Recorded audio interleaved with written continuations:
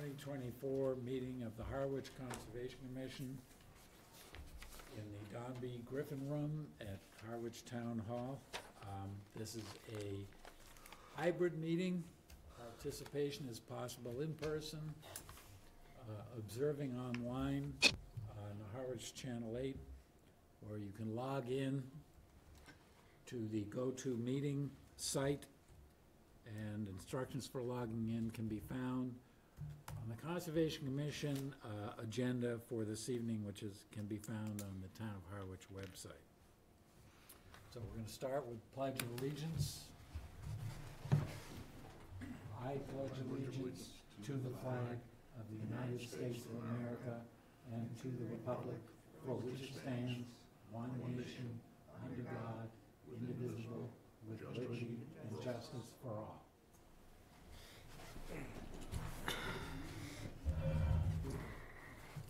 First item on the agenda this evening uh, is a notice of intent for Route 28 road layout between Bank Street and Saquatucket Harbor, SE 32-2552, for sidewalk construction by Mass DOT on the south side of Route 28.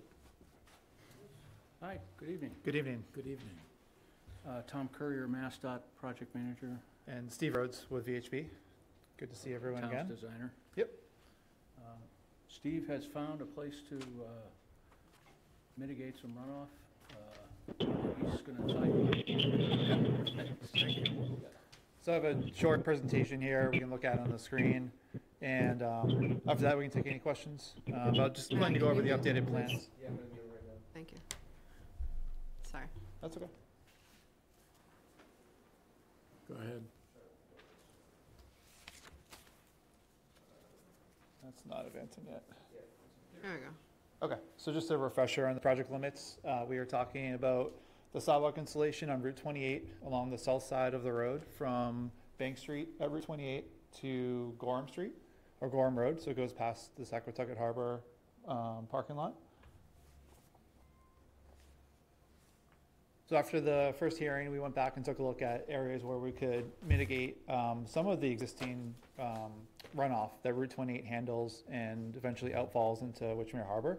And we were able to find a location uh, within the existing right-of-way, Route 28, that we, um, myself and Tom coordinated with District 5 to get approval for, uh, which is gonna take about um, four leaching basins that, new that can go in to handle some of the runoff.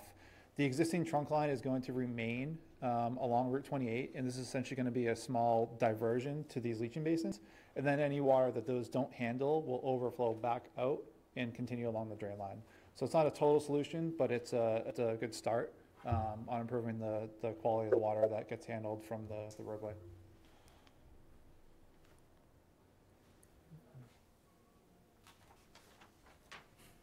Just not advancing again. I got it, okay. So this is just a little uh, zoom-in view of these drainage structures. So structures uh, four, five, six, and seven are leaching uh, units. Structure eight is a reconstructed uh, manhole over the existing manhole in the- in the roadway. And structure nine is a, a deep sump uh, to provide a little pre-treatment before the water gets into the leaching basin system. So all those leaching basins are connected together via pipes, so the water will kind of equalize and flow between the four of them before it, um, if it needs to, back up and out back into the trunk line. These systems are going to be, um, the frames and covers, there'll be access covers on the leaching uh, basins, and those will be located behind the proposed sidewalk, so they won't pose really a tripping hazard or anything like that for people using the sidewalk. So I think we found a pretty good space here, um, and it works, it works to, to get the system, uh, some of the loading on that drainage trunk line offline and directly infiltrated into the ground um, the nice sand we have down here. And just to kind of complete the picture, um, this is, these systems are being installed between um, Bayview Road and Snow Inn Road. So there's, um, this is, you know, the western third of the project. Um, Once the drainage trunk line turns down Bayview Road, we just carry on with the existing system along Route 28. The other update we made is we went and put the landscape plantings in along the strip uh, where the shrubs are coming out in front of the Brax Restaurant. So it's a bit hard to see on the, the impact plan, but they're in the, on the south side of the road, the bottom of the road here. In detail, uh, we're getting about 40, uh, 52 um, shrubs added in there for, to kind of mitigate for those plants that are coming out for the sidewalk installation. And we're going with um, bayberry and Virginia rose. These plans haven't changed since the, the first hearing. Just wanted to kind of complete the picture of the work in the resource area. Uh, The sidewalk shifts from the south side of the road to the north side of the road as it approaches the limit of work on the eastern end at Gorham Road. And um, we're still requesting the same variances as the, the first time. Uh, No changes there. No, these, these updated plans led to no additional, you know, changes in, in regulations that we're requesting relief from. That's all I had for the updated presentation. Thank you. Amy? Yes, thank you and the town and MassDOT for putting your heads together and trying to find a way to mitigate for some of the additional structure that you're putting in um, by doing what I think is really good mitigation and trying to treat um, at least some of the runoff that's on Route 28 that's currently going into Wychmere Harbor, which is an impacted water body. So um, I'll look to continue to work with you about if there's things in the future that we can do to expand upon that. But I think for the intents and purposes of this application, um, that you've met your requirement to do mitigation for the work that you're doing. Um, and I see you made the change, the plant change that I had recommended, and I would just like a revised copy of that, three copies of that one sheet, really. Um, taking the inkberry off that you did and just with the pencil, uh, with the, uh, um, bayberry and Virginia rose on there. So if I could just have revi- revised few copies of those in the next week or so, that'd be great, Sure. Hard copies, Amy? please. Uh, um, if they're eleven by seventeen, just email it to me, I can print this size. Okay, sure. It's only three pages, it's only, it's not a big deal. So, yeah, just that, that page, whatever references the plants, Plantains. I think it's Oh. two sheets that cover them. So Okay, we can yeah. give you those, that's set. that's perfect.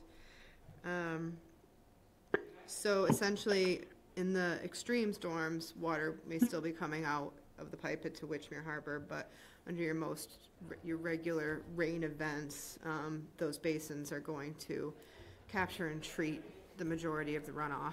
Um, Excuse me for a minute, yeah. so, um, with that, I would recommend approval of the project as a limited project and, uh, granting the variance variances requested. Okay, thank you. Comments from the commissioners. Mark, Nothing to add. Jim, No additional comments. Brad?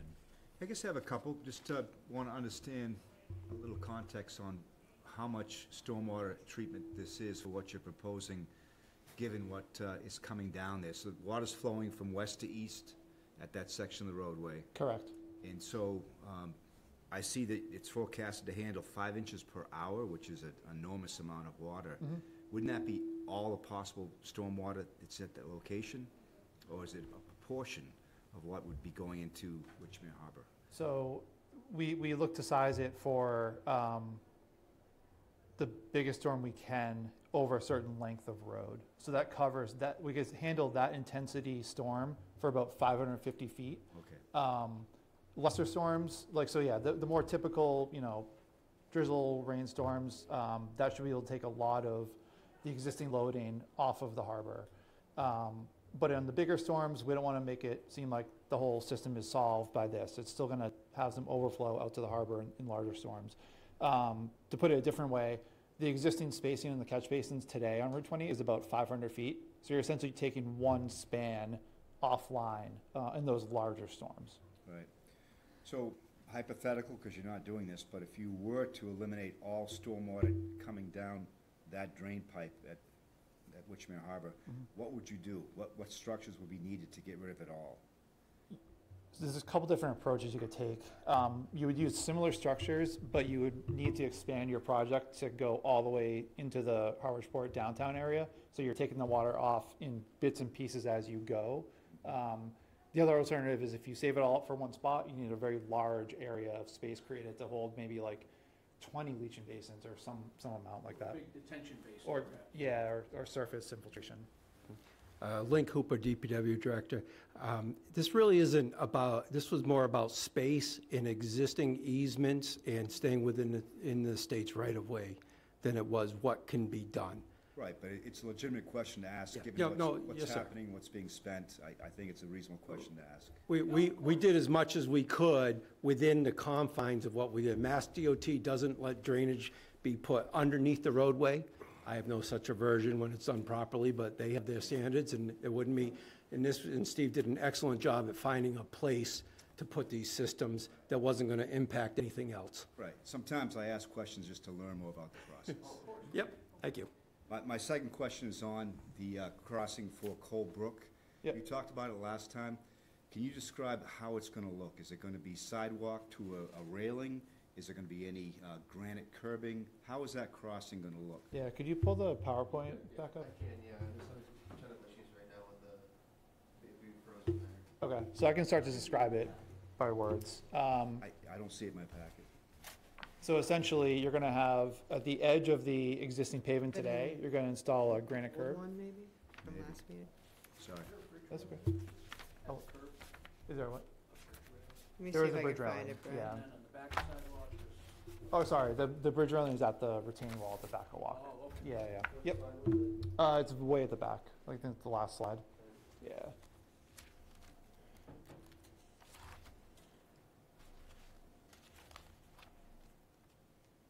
Uh, keep going all the way to the end, it should get to it, yeah.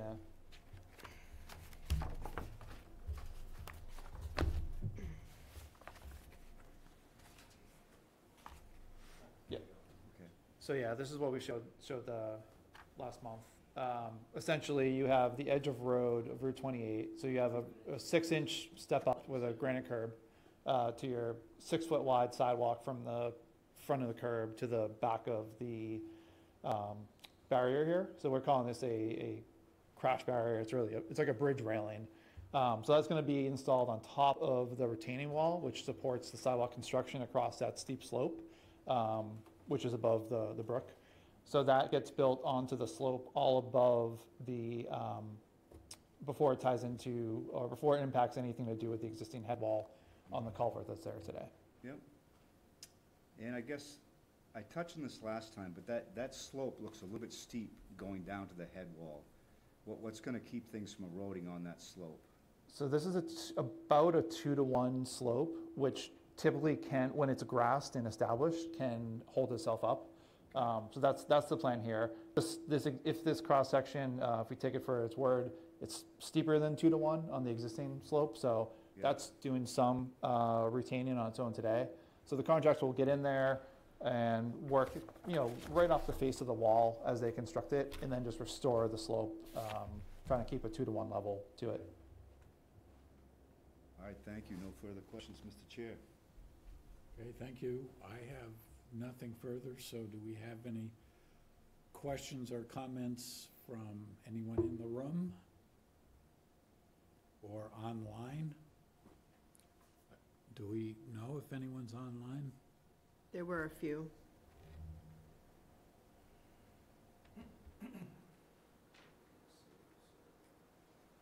Yeah, for some reason, that, that image right there is frozen on there for some reason, not sure why, has not happened before.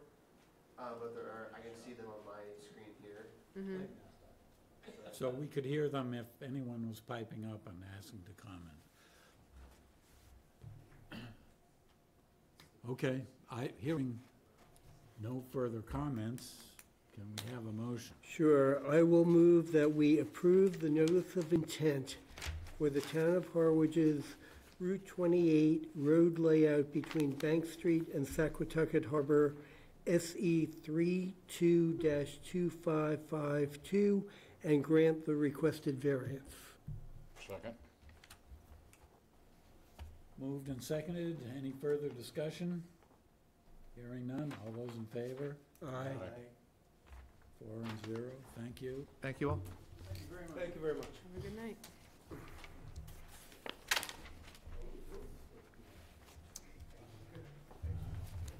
Okay, so uh, next on the agenda is um, notice of intent for 435 Route 28, map 13, parcel S1-B2, SE 32-2554, for the relocation of an unpermitted structure. Hi, my name is Sahil Patel, and uh, I'm here on behalf of Value Mart KDBC, KDB Patel LLC. And I think Bob Rigo is supposed to be on um, the Zoom call. He's Right. here, he's here. He's here. Yeah, he- I just can't see him on the screen. 'cause we're- Okay. I don't know if he can speak, but I think he's in the middle of uh, another meeting. So I Okay. would love if you could push this back a little bit. Yeah, Bob Rigo's online right now. Bob Rigo's online? Okay. Okay.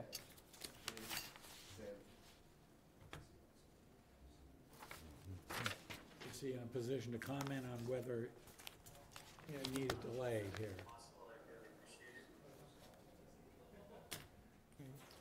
what did he say, Matt? Give me one second. Yeah, we have to be available online if we've advertised as such, so hang on one minute.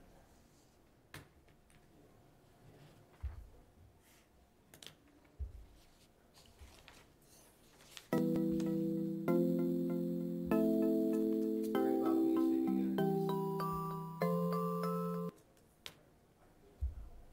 Bob, can you speak again? I'm, I'm sorry. Um, if possible, I'd like to just uh, move the forward the the meeting a, a little forward, one or two hearings. I have a conflicting hearing that about I'm about to go on in Brockton. We'll have to move you to the end of the hearings, um, if that's. o- Okay. But, yeah, we can, Okay, we can do that. Okay. all right, Okay. thank you. Thank you very much. Appreciate it.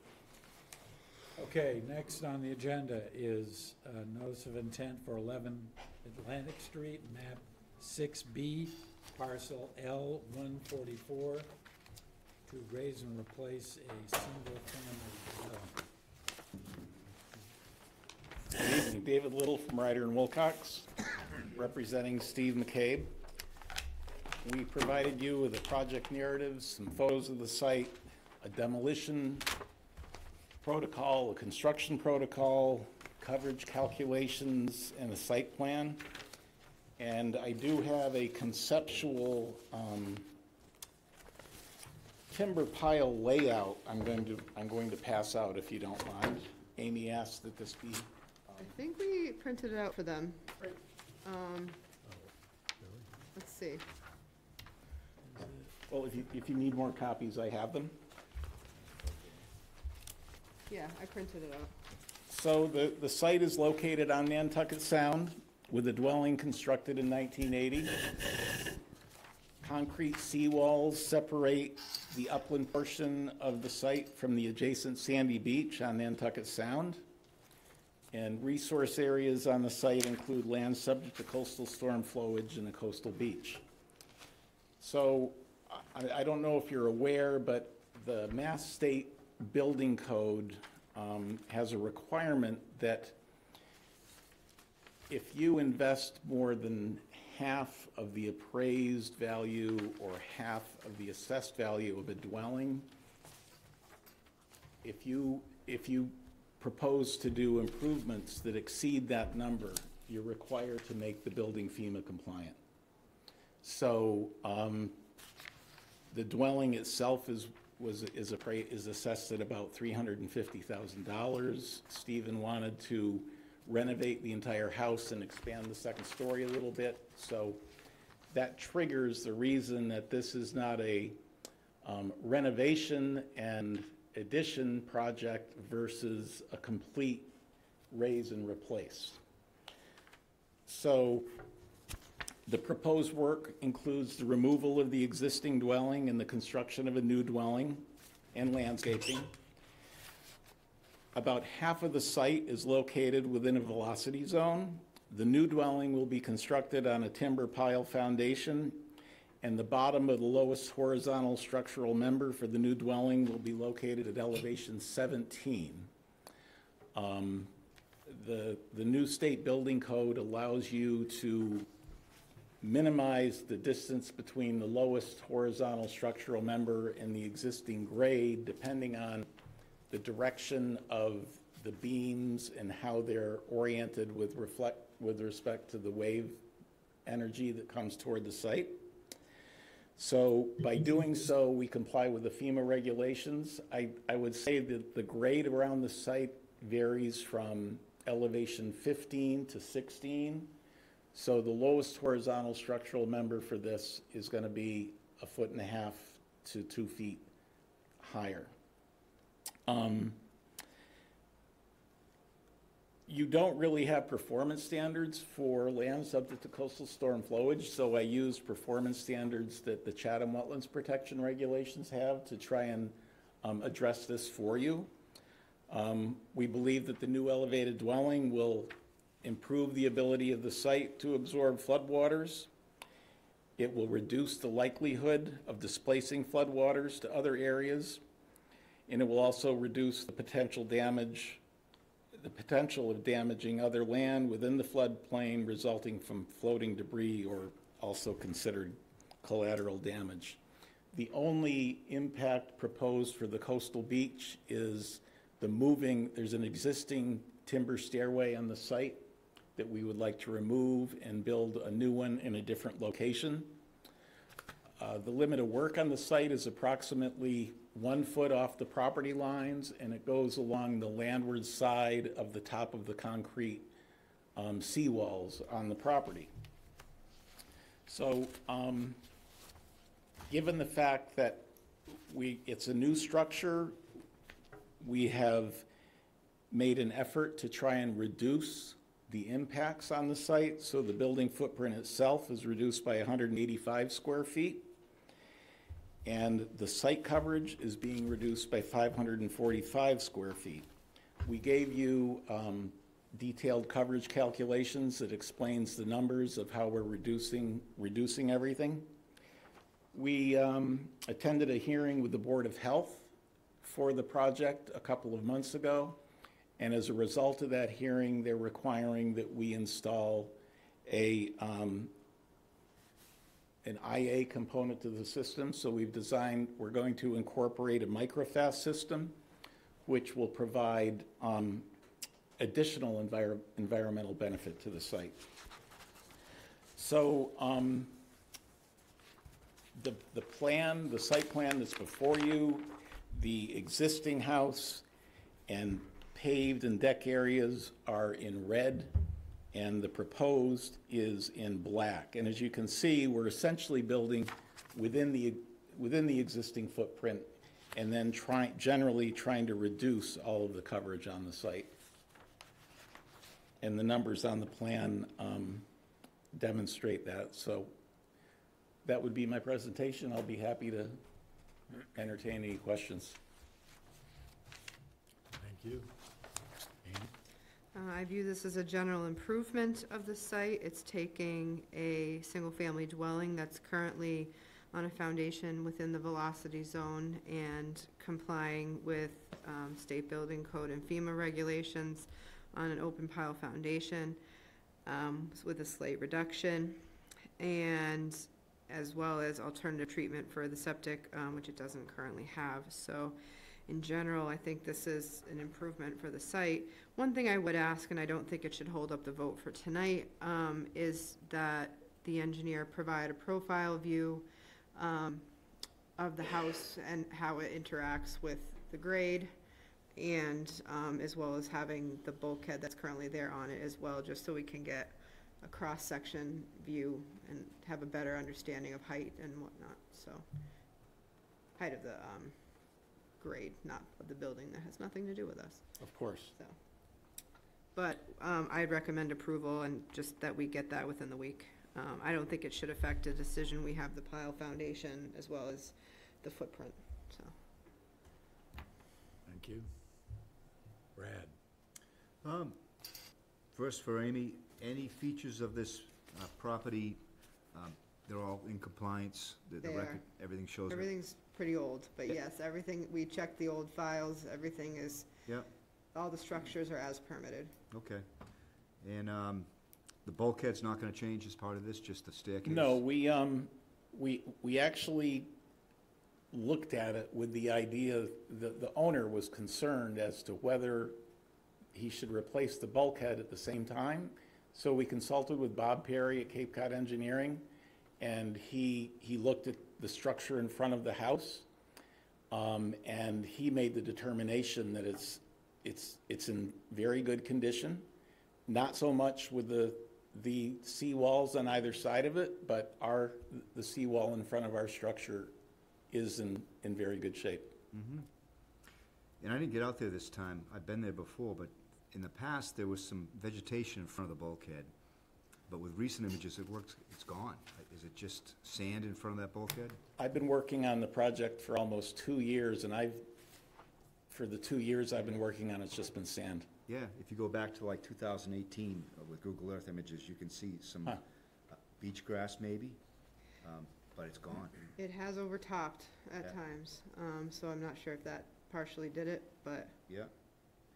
But the project is not gonna impact that either way, so I, I don't think there's much you can do with this footprint. no. Um, So I think reductions and the, the tank improvement is, is, is really what you can do. So, thanks. Thank you. Jim? I have no further comments. Mark? Nothing to add, looks pretty straightforward to me. So I just have one question, looking at the photographs here. I have, the steps seem to have three layers, The, um, and one of which appears from the photographs, I unfortunately did not get out to the site either, uh, appears to be part of the concrete wall. Is that correct? Yes, that is correct. So what we would be doing is removing the two timber staircases on top of each other Uh-huh. and leaving the rest as is. So there will be a reduction in, in massing of the, of the timber stairway access to the beach. And you're, you're moving the stairs, From one side, from one side to the other, yes. On that vein, I'd recommend that the bottom section of staircase um, be potentially aluminum or removable in the off-season. Um, This area gets beat up pretty bad, and many people lose their stairs, so if there's a way that the bottom section could be lifted or removed in the off-season, that would probably be for their benefit. We can do that. okay, thank you. Do we have any public comment? Anybody in the room? Yes, sir.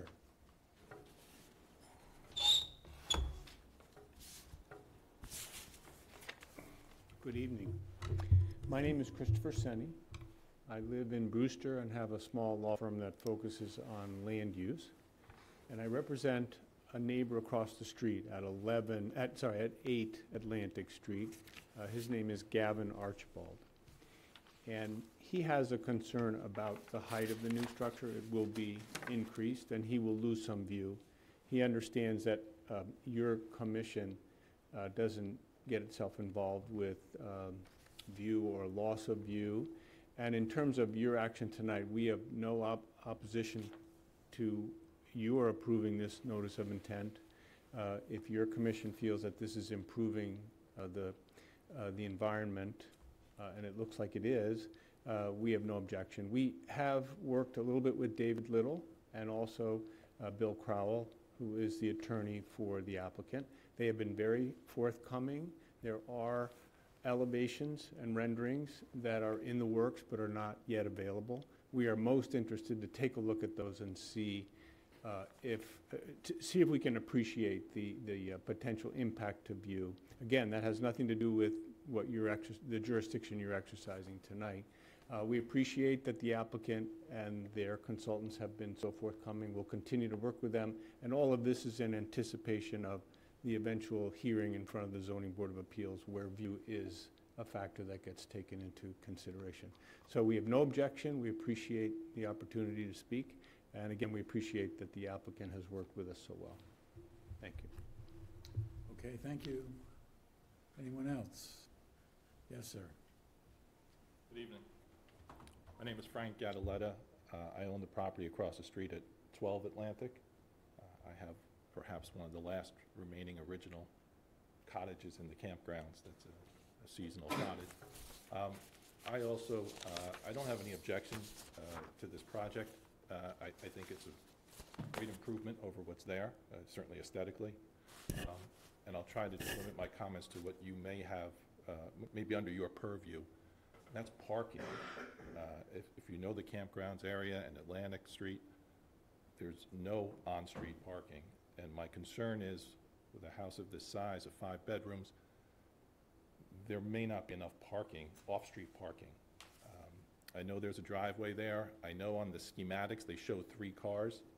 I Can tell you from experience, no one has small cars like that. Everyone drives pickup trucks or large SUVs. They do, they stick out of the driveway, uh, making it difficult for me to plow, and I'm guilty too. I have a large SUV as well. But I would, I would be in favor of allowing the applicant to have additional parking. They are losing a space on the west side of the property. There was a paved area over there that cars could park. That's going away, and I, I understand, I understand that, why they're doing that, that's fine, but the current driveway, I think, with expanding it, could hold additional vehicles, or at least larger vehicles. Otherwise, it's really gonna impact the neighborhood. You know, everyone in that neighborhood uh, has large vehicles, and these, a lot of these properties are rented, uh, and there's tenants that come in, and with a five-bedroom house, they come in with three, four, five cars, and there's just nowhere to park. So that would mi- be my only comment, and again, I don't know if that falls under your purview, but because it does affect impervious surfaces, or or maybe there's a way to do it that there are permeable surfaces that allow parking, uh, I, I would be in favor of that, if that could be explored. Thank you. So the area that he's speaking of is pretty much right at the fifty-foot buffer, or slightly outside if it's closer to the road. Um, if there was area that could be gravel, um, I wouldn't have an objection to it, but not, nothing impervious.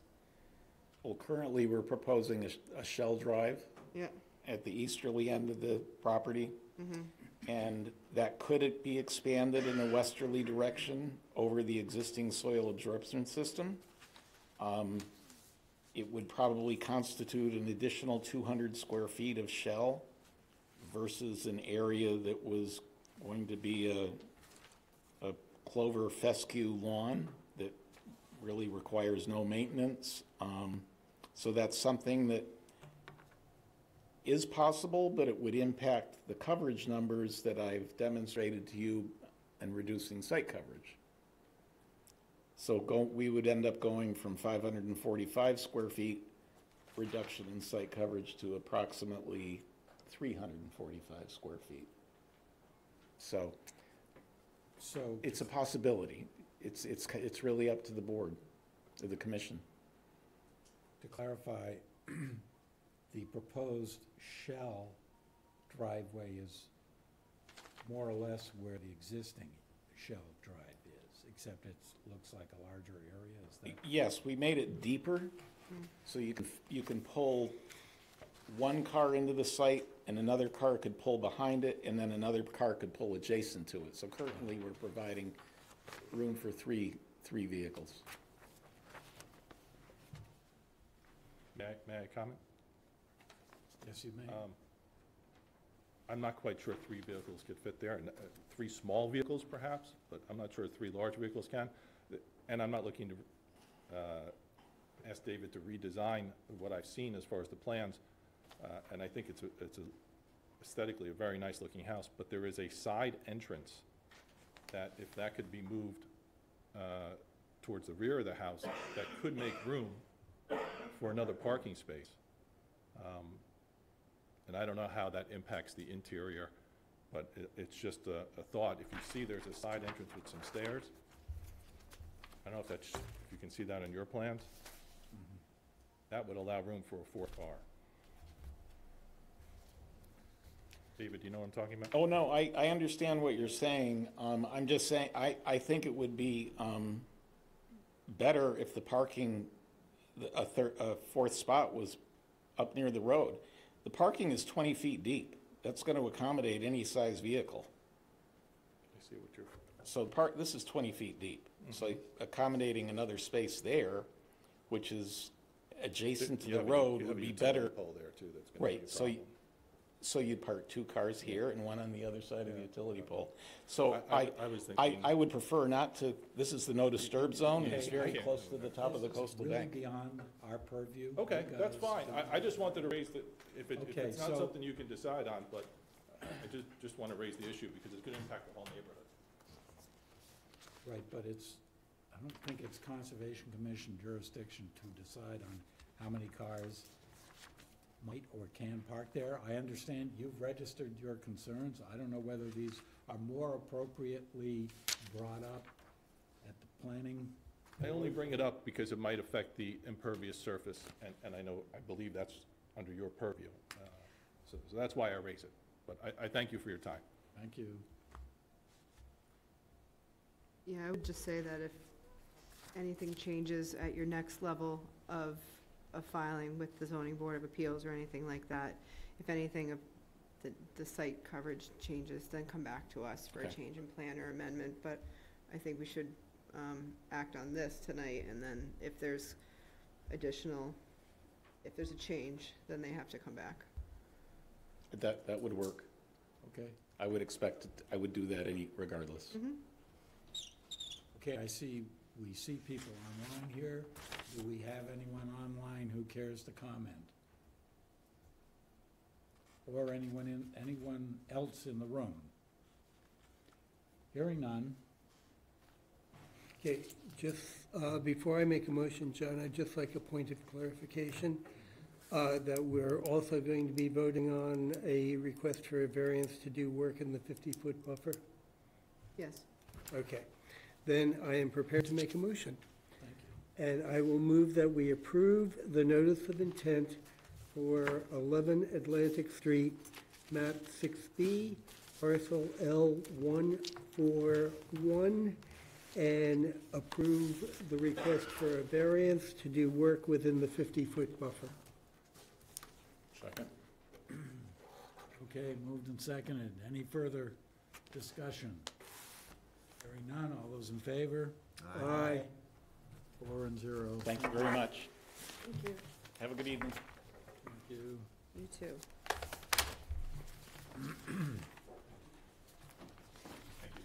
Night. Next, we have um, a notice of intent for 29 Walther Road, map 16, parcel T7, to raise and replace a single-family dwelling with a spa, fire pit, patio, and coastal access stairs. Good evening. Good evening, uh, David Clark, Clark Engineering, on behalf of the Walsh family. The Walsh family is, are online attending this meeting, as well as Teresa Sprague from Blue Flax Design, who prepared the restoration mitigation plan for the project. I uh, prepared a presentation, but it's gonna sound a lot like what David Little just said. Um, It's almost the same project. Um, We have a, an existing house uh, that was constructed well over 100 years ago in close proximity to the top of the coastal bank, to um, Nantucket Sound. A large portion of the property is also within the velocity zone, elevation 14. Um, However, um, the portion of the property where we're doing all the uh, site alterations uh, is significantly higher than the 14-foot floodplain elevation. So we're in the process right now of applying to FEMA for a- a letter of map change to uh, remove a substantial portion of this property from the floodplain. Um, But we decided to go forward with the application based on the regulations and the floodplain where it is now. Um, And if we're successful with uh, the map change, um, we, uh, will we'll consult with Amy first, uh, but we, um, we're planning on um, minor alter, or not a minor alteration, but altering the foundation design of this project basement. Um, That would be the only change. So, The proposal is to demolish the house um, and construct a new dwelling. Uh, The new dwelling is larger than what's there now. Uh, For that reason, we've, we've moved it significantly far, farther back on the site from the top of the bank. So the new dwelling uh, itself is outside the 50-foot buffer zone from the top of the bank. Um, um, If you hadn't noticed, uh, if you went out to the site, the, the bank is, is armored. There is a uh, bulkhead, substantial bulkhead uh, spanning the entire width of the property. And uh, the landform just above that, uh, there is a, a break in the four to one slope, and that's why we're calling it a coastal bank. Um, So there is the fifteen hundred foot buffer from that. Um, So, uh, exist, the house is larger than what's there now. Um, Teresa's online to, to talk about the mitigation plan and, and, uh, how we're meeting your requirements, uh, for work primarily within the fifty to one hundred foot buffer. A small portion of the project is remaining within the no disturb zone. As you see, there's a small patio with a spa. Um, and, and the, the primary reason for locating it there, um, is that because we've moved the house back so far, uh, we're losing a substantial portion of the spectacular views this property has to the east.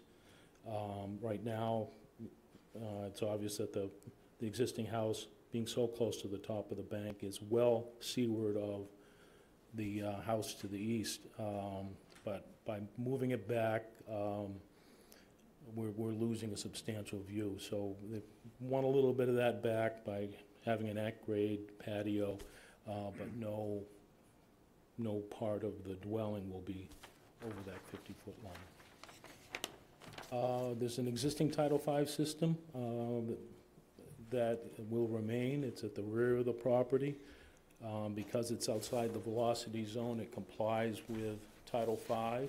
Um, And uh, the existing house um, has eight bedrooms. Uh, One of the other benefits of this project is that uh, the new house will, uh, according to the floor plans, will have four bedrooms, but two additional rooms that qualify as a bedroom under, under the Board of Health regulations. So we're, we're describing it as a six-bedroom house. Uh, But it- the net reduction is at least two and, and more closer to four. Um, As far a- as uh, construction uh, mitigation measures, we show uh, a staked uh, silt fence with wattles, uh, basically going just almost to the uh, middle of the property, then down to the water, to- I mean, top to coastal bank, and then along the bank, and then up the easterly property line. Um, Another aspect of the project is uh, the stairs that grant, that give access down to the beach uh, over the bulkhead. uh, Because they're perpendicular to the line, to the to the bulkhead, they extend quite far out. Um, And uh, the toe or the, the bottom of the stairs are are awash at, at uh, higher than normal tides. So the idea is to uh, have the stairs run parallel with the bulkhead uh, to mi- minimize uh, or maximize the distance between the stairs and the high water mark. Um, That's it in a nutshell. Um, Teresa's here to, to talk about the mitigation, if you'd like to hear from her now, or if you have questions on the, on the engineered plan, I'll be happy to answer them. I think we- Go with Teresa? or- Teresa, yeah. Great. Hi, good evening, everyone. Thank you. Teresa Sprague with Blue Flax Design. So um, what we're proposing here for mitigation is um, just under 9,000 square feet of planting um, within, mainly within the zero to 50-foot buffer zone, so on the coastal bank, um, interplanting within the beach grass to help improve diversity that's located just above the bulkhead on the coastal bank, um, and then planting out pretty much the entire 50-foot buffer zone with the exception of the area of the proposed spa and fire pit. and then wrapping that planting up along the eastern and western side of the house into the 100-foot buffer zone, and then extending that planting right up into the area that's currently designated as the, um, as the FEMA VE velocity um, floodplain. Um, We took our cues from the abutting property to the west, which belongs to the town of um, Falmouth. I mean, I'm sorry, the town of Harwich, um, and, uh, and is existing native vegetation consisting mainly of eastern red cedar, pitch pine, oak, little blue stem, and American beach grass. Um, so took our cues from that existing plant community and extended that plant community and that plant matrix um, throughout the property. Um, we have added um, some additional shrubs, including some sweet fern and some inkberry holly and arrowwood viburnum to provide some screening to the vinyl stockade fence that's located along the eastern property line. Um, but otherwise um, chose plants and plant species um, that are well suited to this site that are currently thriving um, in the uh, the conservation property located right next door. We did provide in our land management plan um, an image of the um, of the area next door, and so to provide to just give an example of the cues that we were taking. So on page three, um, you'll see an image of the footpath that runs through that property that's owned by the um, by the town of Harwich and has a sense of what then that extended vegetation will look like on the property located at 29 Walther. In total, we're looking at um, 10 trees, 205 shrubs, um, including bayberry, northern viburnum, uh, beach plum, uh, some sweet fern, uh, native roses, uh, inkberry holly. Trees include amelanchier, eastern red cedar, pitch pine, and uh, scrub oak. So um, we think that there'll be a substantial improvement to this buffer zone's ability to um, provide ecological services, mainly to help slow water down, help infiltrate and filter water before it reaches the water body. We do have an revetted, or I'm sorry, a, a, an engineered structure on the coastal bank um, with a bulkhead, but we certainly have a beach and water that's important to wildlife habitat and human habitat. So happy to answer any questions about the proposed planting and mitigation. Thank you. Amy? Um, before I make my comments, we, I just wanna go over, um, an email that came in this afternoon from an abutter, and which I did send to David and Teresa as well. Um, so this is from the Cranes, Kathleen and Marty Crane, who abut the property. Um, they have a few concerns. They said, number one, they could, they asked for screening of some sort for any AC units. Current plans expose those units to us. Those are outside the hundred-foot buffer zone, so it's nothing that we can require, but I just encourage you to work together as, as uh, neighbors and maybe um, can talk to the Cranes about potentially a little bit of screening. Um, Two, the proposed patio is very close to the property line. What is the setback requirement? For patios, um, there is no setback requirement from property lines in the building code. Um, And then why are the stairs to the beach being shifted so close to the property line was their last question. And I'll leave that for you to answer, because I don't know. Um, The uh, stair relocation um, was uh, determined uh, by the clients, uh, the the property owners and their architect. Um, I would imagine that um, they they wanted to get it off to one side of the property or the other to, so that it's not in the main view from the, the the living space, the main living space in the center of the house. Um, and as far as the patio, um, yeah, it was my understanding there's no setback requirement under the bylaw. Um, Teresa, do you want to comment on screening? Um, I I think you you said that you had a conversation with the Walshes about that. Yeah, absolutely. So there is an existing vinyl stockade fence that runs entirely along that eastern property line between this property and the property directly to the east.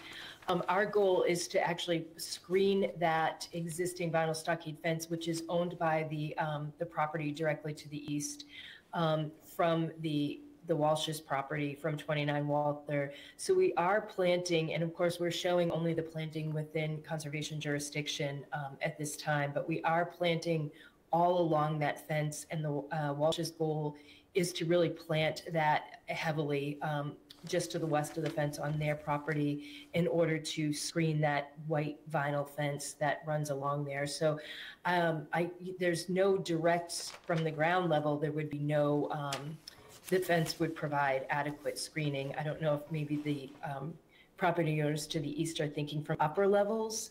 Um, Of course, getting tall trees on this site will be, you know, challenging, but we can certainly plant, um, we are certainly planning on planting all along that vinyl stockade fence to screen that stockade fence.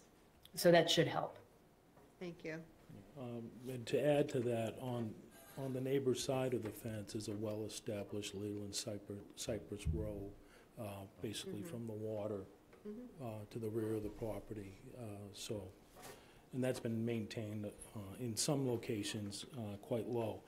Um, But as Teresa said, um, there will be additional plantings outside your jurisdiction. Thank you. I just wanted to recognize that. Um, Thank you for the plan revision that shows the um, hardscape for the house and just general hardscape. That's on the planting plan that was on your table this evening. Um, They have a reduction in the zero to fifty, uh, currently fifteen hundred fifty-two square feet of the house is within the zero to fifty. All of the actual house is coming out. Um, There is some hardscape, and they're proposing a little more hardscape, so there's a net increase of seventy-five square feet of hardscape there. Um, But an overall kind of net reduction of everything in the zero to fifty of roughly fourteen hundred seventy-five square feet. They are proposing an increase in the fifty to one hundred, which you can see on the plan, and are mitigating for that. Um, I would say, I mean, this is a, this is a vast improvement, and if you look, if you've been to the site, it's pretty much all Cape Cod lawn up to the right of the top of the coastal bank, where there is some American beach grass intermixed with some seaside goldenrod, but that's really it for the site. So they're moving the whole house farther, quite a bit back, and um, reestablishing a 50-foot um, more of a 50-foot buffer to the top of that bank, which will provide a lot more diversity um, on the site. And, let's see, I would just caution you with this, the perp, um, the stairs that are gonna be parallel to the wall, what we found this year in the town is all the stairs that we had reconstructed that were parallel to walls and not perpendicular.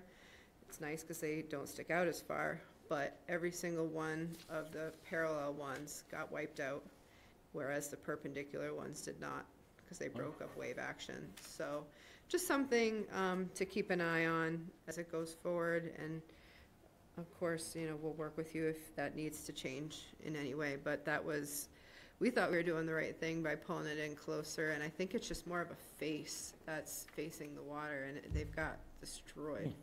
Um, all of the town stairs that were parallel this year. Um, I really don't have any questions. I think this is a, a nice improvement for the property.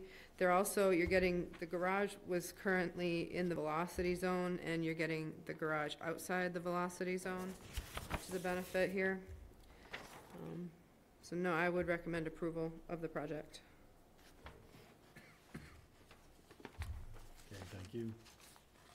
Mark? No remarks. No, no further comment. Brad? Yeah, two comments. Um, First of all, there is a lot very good that's going on here. Pulling the house back to the line of the 50 is something we don't often see, so I mean, that, that's very positive. But I do have two comments. Um, One, uh, a lot of planting mitigations. One thing I'd prefer to see is an expansion of the top of the coastal bank um, over um, the vast amount of plantings in, in the 0 to 50 and the 50 to 100. So that's one comment to see if that's possible. I think that would be a, a real benefit to increase the top of the coastal bank. I, what do you mean by that? Well, right now, you've got, what, what distance is that width of the top of the coastal bank? Um, From the bulkhead landing?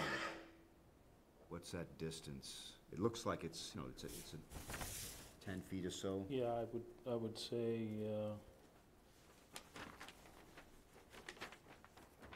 maybe fifteen, but, but somewhere around there, five to, uh, ten to fifteen. Right. So, interested to hear about the potential to increase that landward. And then the second thing is, a little bit of heartache over seeing an increase in, uh, of hardscape, seventy-five feet in the uh, zero to fifty. It is a full rebuild. Um, it would be nice to see that number zeroed out. I, I understand they wanna have a spa to have a view, but having a new spa in the zero to fifty is a little concerning to me. Um, So is there some way to zero out that new hardscape? I, I understand the house is coming back. That's, that's a fantastic change. Uh, But those two points, I'd, I'd like to see some discussion on. Let me uh, pass out uh, a diagram. Uh,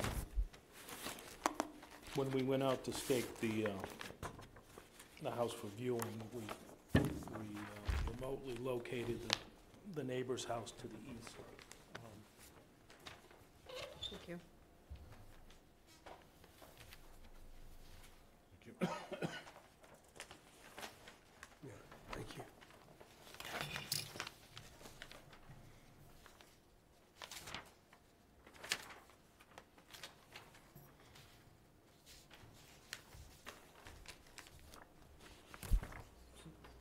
So the neighbor's house as shown on the plan now, um, was, was given to us, um, through the- the, the landscape, uh, designer and, uh, architect, and so we continue with it. Um, I was a little suspect of that when we, after we had filed, and, uh,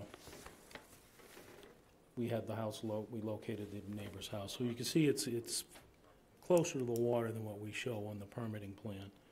Um, So right now, where the house is, the new house is located on the, on the Walsh property, um, we're, we're actually further back than the line, so to speak, uh, that's established by the neighbor's house.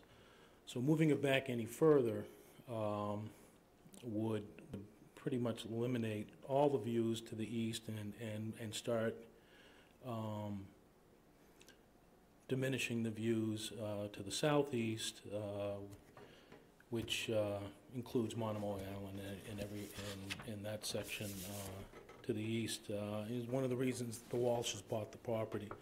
Um, And will also require a complete redesign of the house, uh, because we're maxed to the setbacks on both the east and the west side. So we would have to completely re- redesign the house in order to move that back. Yeah, I'm not, I'm not suggesting moving the house back. I think you've done a great job with your design so far, but to have, I'm exploring the idea of not having a seventy-five percent increase in the new structures, which is the fire pit and the spa, in the zero to fifty. So is there something can be done? It's a seventy-five foot increase. And, uh, and really, I'm looking at the two options. Between the two, you've done a lot. Is there something that can be done either to reduce that seventy-five in the two new structures, or can you do something um, with in- increasing the coastal bank? And tho- those are discussion points that you know, I'd like to hear from the other commissioners on how they feel about those things. Um, It's an opportunity with a full reconstruction to do these things. And, Can I, But, I mean, f- uh, we thought that a fifteen hundred square foot plus reduction in the no disturb zone was significant and far outweighs, um, something that's somewhat inert when it gets, uh, installed in that it doesn't obstruct wildlife movement, because it's at grade. Um, and, uh, and really, uh, looking at what we're putting back versus what's taken out, it, it, it's, it's almost, it's a, it's an order of magnitude difference. Um, and, uh, I'd like to ask a question for clarification here. Because the first point you made, Brad, was about that space, whatever it is, ten feet or so, landward from the bulkhead, but it's unclear from the drawings whether that's new planting or not, and it's labeled here as beach grass plantings, and on the planting plan, there's additional plants in there Mhm. On this um, plan that you just handed out, and I guess that's just a blow-up of what we already had. There aren't any other plants, but is that existing beach grass, or are you planting?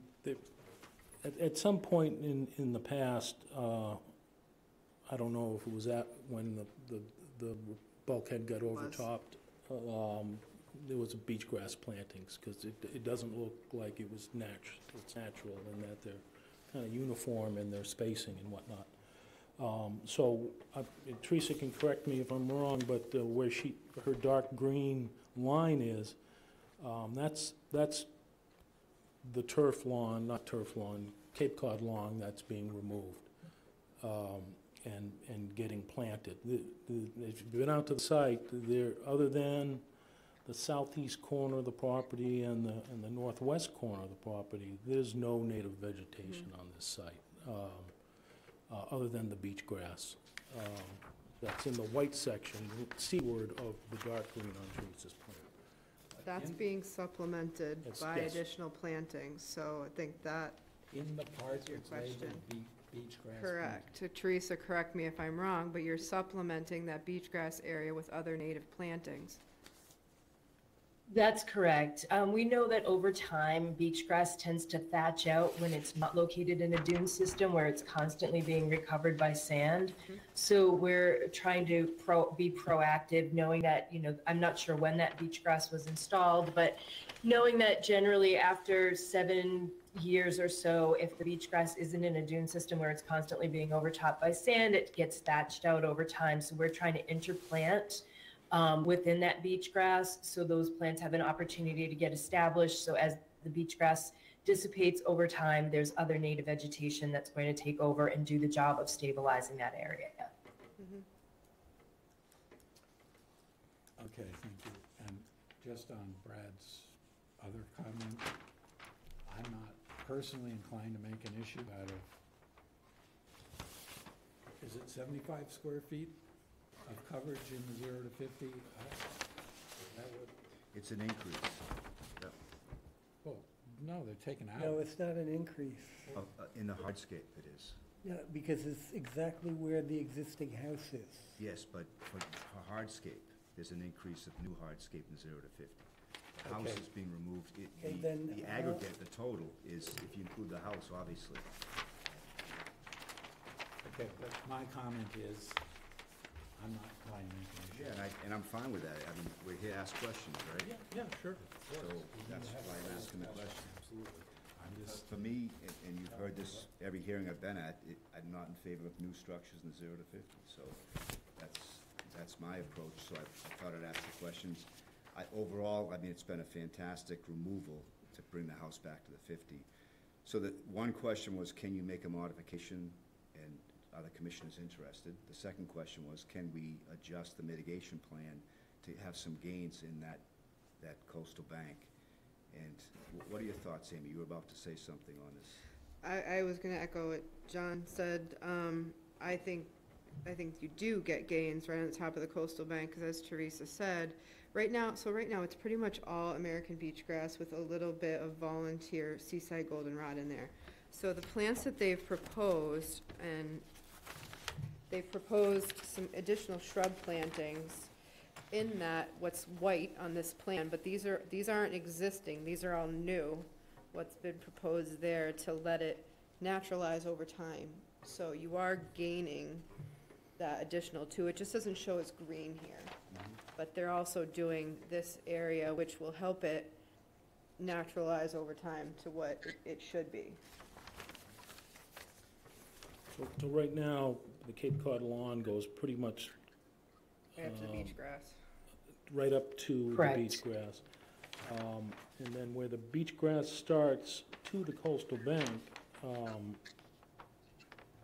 is uh, anywhere from 10 to 15 feet Mhm. width.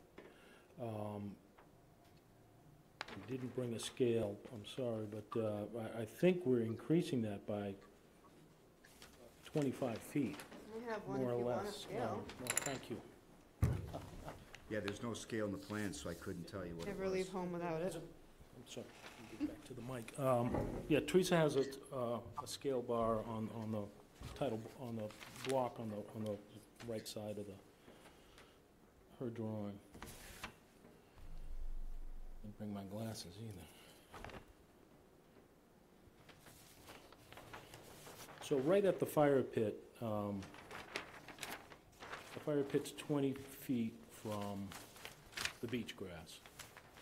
Um, Other than the fire pit itself and the patio and spa, everything all around it is planted right to the no disturb zone line. So we're, so other than the spa, patio, and fire pit, this is all getting planted. Yeah, it's not lawn. Correct. It's not, not lawn, That's yeah. correct. So I guess if you could add into the plans, um, the, the increase in that top of coastal bank, because it's not really quantified, it, I, I couldn't tell. What you just described suggests it's bigger than what's there now. Hmm. Um, It looks like that bank was planted in two thousand sixteen, it wasn't there before then. And so, having that documented, increased a little bit, I think would be a nice thing to have happen here. Okay. Um, Yeah, I think you can, ac- that could be accounted for. Okay, I, I think I understand, I'm sorry. So, so we did not account for the beach grass area in our mitigation calculation because there's already existing native vegetation in that area. We're just supplementing it with mm-hmm. native shrubs, again, for the reasons that I just stated. So the- in our mitigation calculation, we're only counting the area that's shown in green, which is existing Cape Cod lawn that will be planted out and restored to native vegetation. And then we're interplanting that beach grass area, but we didn't calculate. So I, if I understand correctly, Brad's asking us to also count the square footage of the area that we're showing in white, which is from the bulkhead up to where the existing Cape Cod lawn is, and then parse out the proposed shrubs that we're putting in that area. Is that correct? Well, also just documenting the dimensions of that top of the coastal bank. It looks like it's bigger than what's there now. Okay. And, and that, my interest was to have that bigger than what's there now, and, and so I think you have plenty of mitigation. I, I don't think it's, that's really the Yeah. issue. I think it's, you know, Okay. to see that top of the coastal bank have um, some real integrity to function. Eh, Maybe it can't function that well because there's a bulkhead there, I don't know, but um, that Right. seems to me to be a Yeah. benefit. Uh, So if you could, you know, document those dimensions, that'd be helpful. Sure. And, and, and Amy, wh- what do we do to condition to the, the mitigation area to make sure it stays that way? Is Can we condition that in a certain way? Um, Yes, you can essentially say, you know, no lawn is allowed within the zero to fifty, is- which is essentially what they're showing. They're not showing any lawn in the zero to fifty. We could do it that way. Um, we also do usually condition a survival rate after several growing seasons of the native plantings prior to requesting a certificate of compliance. I think the best way to do it is to say there's not to be any lawn in the zero to fifty. Um, and it must comply with the planting plan, you know, site planting plan. So you can condition it as such. Do, do we want an annual report for one, two, or three years? I think so. This is a pretty big planting, so I would say it would be consistent with what we've done in the past to require an annual monitoring report of the status of the plantings for probably three years.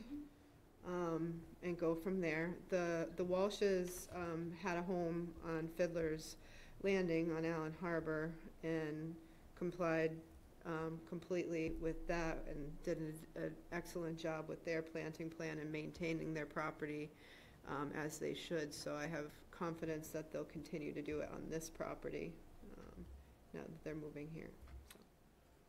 All right, thank you. No further questions. I have one additional question, which is, are there plans to mow the area that's seeded with grasses, native grasses and wildflowers? And, but, you know, um, would it make sense to condition either no mowing or annual mowing only, or Hmm. something like that? Um, I'd like to hear from Teresa on that. Okay. Yeah. Um, yeah, there's no, there, we're, we're interplanting shrubs into that grassy area, so there's really no plan to, to mow that. The species and the seed mix that we're proposing is listed on the plan, um, on the lower right-hand side. So the, we're, we're, our goal is to keep these native grasses that stay fairly low so that they're not, um, tall prairie grasses. For instance, we're not proposing switchgrass or Indian grass or big blue stem, anything that's going to get in the six feet plus tall range um, in this area, um, simply for that maintenance piece, and so that they don't outcompete the shrubs that we're proposing to plant in here um, to interplant. So. Um, at minimum, perhaps um, as we get this established, we'll during the three-year um, establishment period, um, just to keep weeds down. We'll probably do some annual mowing until we plant the shrubs. So the first year seed, we tend to get a lot of annual weeds that first year. So we will mow that a couple of times to keep those weeds from going to seed and then out competing while the warm season grasses are getting established. And then once that is sta- once that's established, at maximum, potentially there would be an annual mowing late March, early April um, until the shrubs get established. Again, just to give them a little breathing room and allow them to establish. But that would be the max. This will not be regularly mown. This is not to be a managed area. Teresa, is that in your land, ma- in your management plan, the detail on that? Um, I don't believe it is, but we can certainly um, provide an added, an additional sheet with That those would- details. That would be great to have as a Okay. gui- a guide on how this is looked at and managed over time. Perfect. Yep, absolutely. Okay, thank you. Any other comments from commissioners? No comment, John. Any further comments from the public? Anybody in the room or online?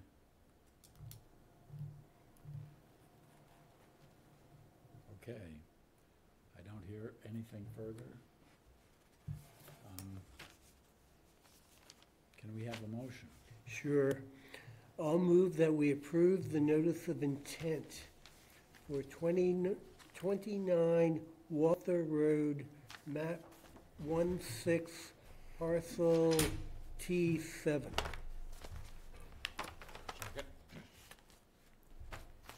Okay, motion made and seconded. Further discussion? Hearing none. All those in favor? Aye. Four and zero. Thank you. Thank you. Thank you. Any revisions or additions that you have, if I could have them within the week, um, that would be great, so I can draft the orders. Okay. Thank you. Absolutely. Thank you. Have a good evening. Good night. Next, we have a notice of intent for Zero Pleasant Lake Road, map one hundred, parcel K four three, for a seasonal dock. Good evening. For the record, I'm John O'Reilly. I believe the proposers may be online and listening in. Um, We're here tonight to hopefully um,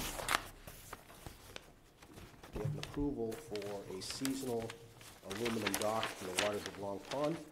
Um, We've designed the dock to meet the guidelines of the um, Harwich, uh, both in length, area, and depth of water. Uh, The dock extends seven, about 71 feet from shore and has um, a total of 11 eight-by-four seasonal sections, which will stand on pads, about eight, 10-inch square pads uh, on the bottom. There's no jetting, there's no dredging, there's no permanency at all to this structure. Um, We have sited the structure following the seasonal dock to the north. Um, Those folks had gotten a, um, a seasonal dock through you folks approved. Um, They were holding 25 feet from their southern line, which is our northern line. So in order not to crowd the dock, um, we then moved our dock to the southern side of our lot. So we're 25 feet off our southern line. Um, So we're kind of following the, the- the the pattern, if you will, uh, based on the aluminum dock to the north. Um, We did meet with the Waterways Committee tonight. They did approve the dock as designed. They did ask Uh, One condition is that the dock sections not be stored on the beach. So they actually made that part of their motion. I told them that the Conservation Commission probably would be supportive of something like that, having talked to Amy the other day. Um, So we, um, we do show dock storage on the beach, on the plan. Obviously, um, that is not in your keeping uh, with what the policies has been, so um, in talking to the proposers, they will agree to move their structures um, off the beach by boat to a landing and then bring them to their house that's across the street. Um, Be happy to answer any questions. I think we probably talk about mitigation next. But again, I'd happy to answer any questions. Thank you. Amy? Thank you. Um, So we have not heard from Heritage yet, so we'll have to continue this hearing. We're not going to take a vote on it um, tonight. Um, So this is a 71, 72-foot-long seasonal dock with pads. Uh, At the seaward edge of the dock, there's 3.8 feet of water, and the structure is greater than 65 feet from adjacent structures. There's no inland bank to this, it's very flat and sandy, so the edge of the wetland is the mean annual water line. Um, After seeing the initial plan, I did reach out to John and said, um, the commission does not, um, allow, uh, off-season storage typically within the zero to fifty-foot buffer zone, which the vast majority of this lot is, because it's long and narrow right along the pond edge. Um, and he confirmed with his clients, and they will store it at their property across the street. Um, We had a conversation about mitigation. The commission in, in twenty twenty-two, late twenty twenty-two, put a requirement for, of mitigation for structures that are in resources versus the different buffer zones. Um, and especially for fre- uh, saltwater docks, you've been consistent with requiring um, mitigation at a four to one ratio for saltwater docks.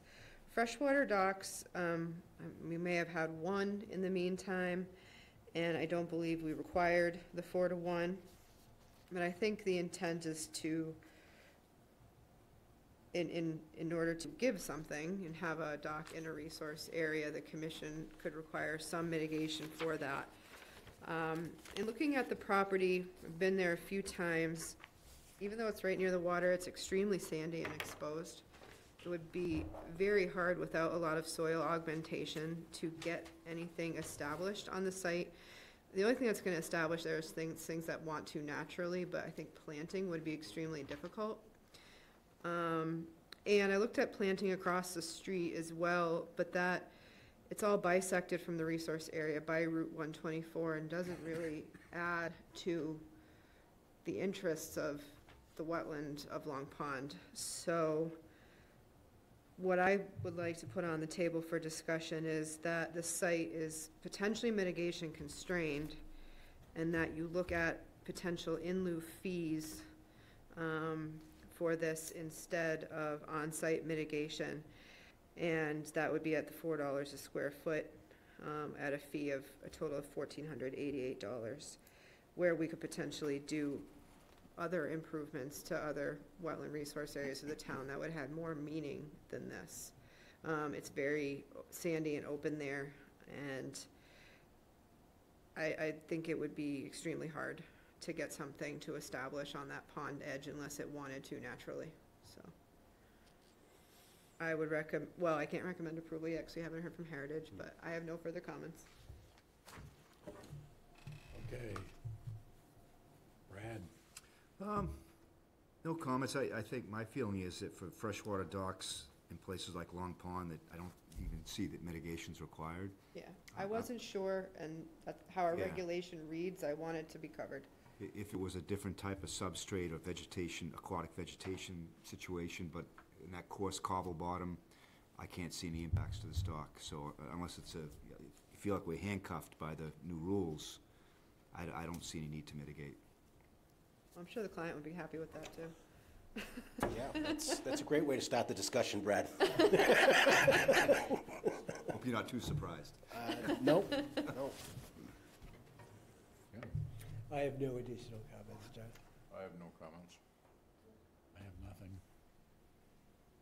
I was just reading the regs and I was like, wanted to be prepared for a conversation about it, so. I- I- There could be a location in Harwich uh, where the pond habitat could Right. receive some impacts, but I, I can't see it happening there. Okay, Thank you. great. So we'll wait for natural heritage. Yeah, so let's continue for two weeks. Yeah, they, on the natural heritage response to the herring run, it was more of a time constraint. Right, T- typically that's what Like it is. the end of May, I think, was what they wanted. Yep. Um, But uh, that's what I'm expecting anyway, but we can't Yeah, do they usually anything don't until they allow come. in-water installation until after May thirty-first. Yeah, end of May, something like that. So our next meeting is two weeks from now, which is April third. April third.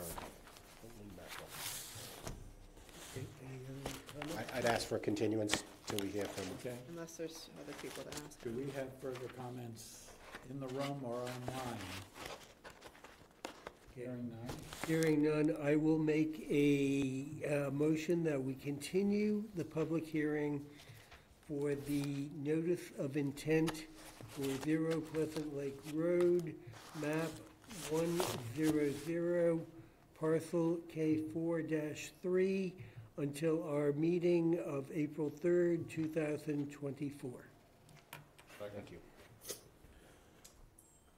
Okay, further discussion? Hearing none? All those in favor? Aye. Thank you very much. Mr. You're welcome. Mr. Chair, um, so can we go back to the Patel notice of intent before we do the amendments? So next, we have, you have your representative online as well? Okay, so we're gonna consider, uh, notice of intent for four thirty-five Route twenty-eight, map thirteen, parcel S one B two, SE thirty-two two five five four, for relocation of an unpermitted structure. Please identify yourself. Hi, hi, my name is Sal Patel. I'm representing KDB uh, Patel LLC Corp. Okay. And your representative? Uh, for the rec- I'm sorry. For the record, uh, my name's Bob Rigo. I'm with Riverhawk Environmental. I'm the civil engineer on the project. Okay, you. Do you have a presentation? Or Uh, describe the yes. project? for Should us? I share? I'm sorry. Should I share my screen or um, so you can see the, the the plan, or would you just like me to present without it? presenting now, so you have a presenter, uh, have those who present. Can if you like. We also do have, we each have the plans in front of us, as well as your additions that you sent over this afternoon. Okay, all right, I'll just, I'll just uh, quickly go through it then. Um, So this is uh, the location of uh, existing um, convenience store gas station on the um, southerly side of Route 28. Um, There's existing bordering vegetated wetland which exists um, east, just east of the property. Um, The, the owners um, installed a fence along the, the wetland line and they installed a small shed structure to the uh, southeastern portion of their building. Um, Both of those were within the 50-foot buffer zone. They did that without um, first getting permission. Um, So we're proposing to move the the shed structure um, over uh, to the western portion of the site that's just uh, within the 100-foot buffer, but outside of the 50-foot buffer. And um, we're proposing to keep the fence, uh, but in exchange for keeping the fence, we're proposing to, uh, some mitigation measures in the 50-foot buffer. Um, They originally installed the fence as a measure to stop um, litter and solid waste and debris from ending up in the wetlands and, and the need to um, uh, repeatedly clean it out. So they, they installed the fence in hopes that that would stop the, the wind blow debris from ending up in the wetlands. Um, So they're proposing to keep that. It represents about um, 15 square feet of impact when you include the, the fence and the footings for the fence within the 50-foot buffer. They're proposing to uh, mitigate along that 50-foot buffer zone, about 1,380 square feet of that area with a total of 19 shrubs um, that were just selected to be um, native shrubs that were on your list of uh, the, the Harwich list of native species. Um, uh, shrubs were selected off that that would be appropriate for the location that's um, next to a, the paved parking lot and, and very close to the roadway. Um, we think that, that we've uh, sent in today, just today, uh, we sent in a request for a variance for that, to maintain that fence within the 50-foot buffer.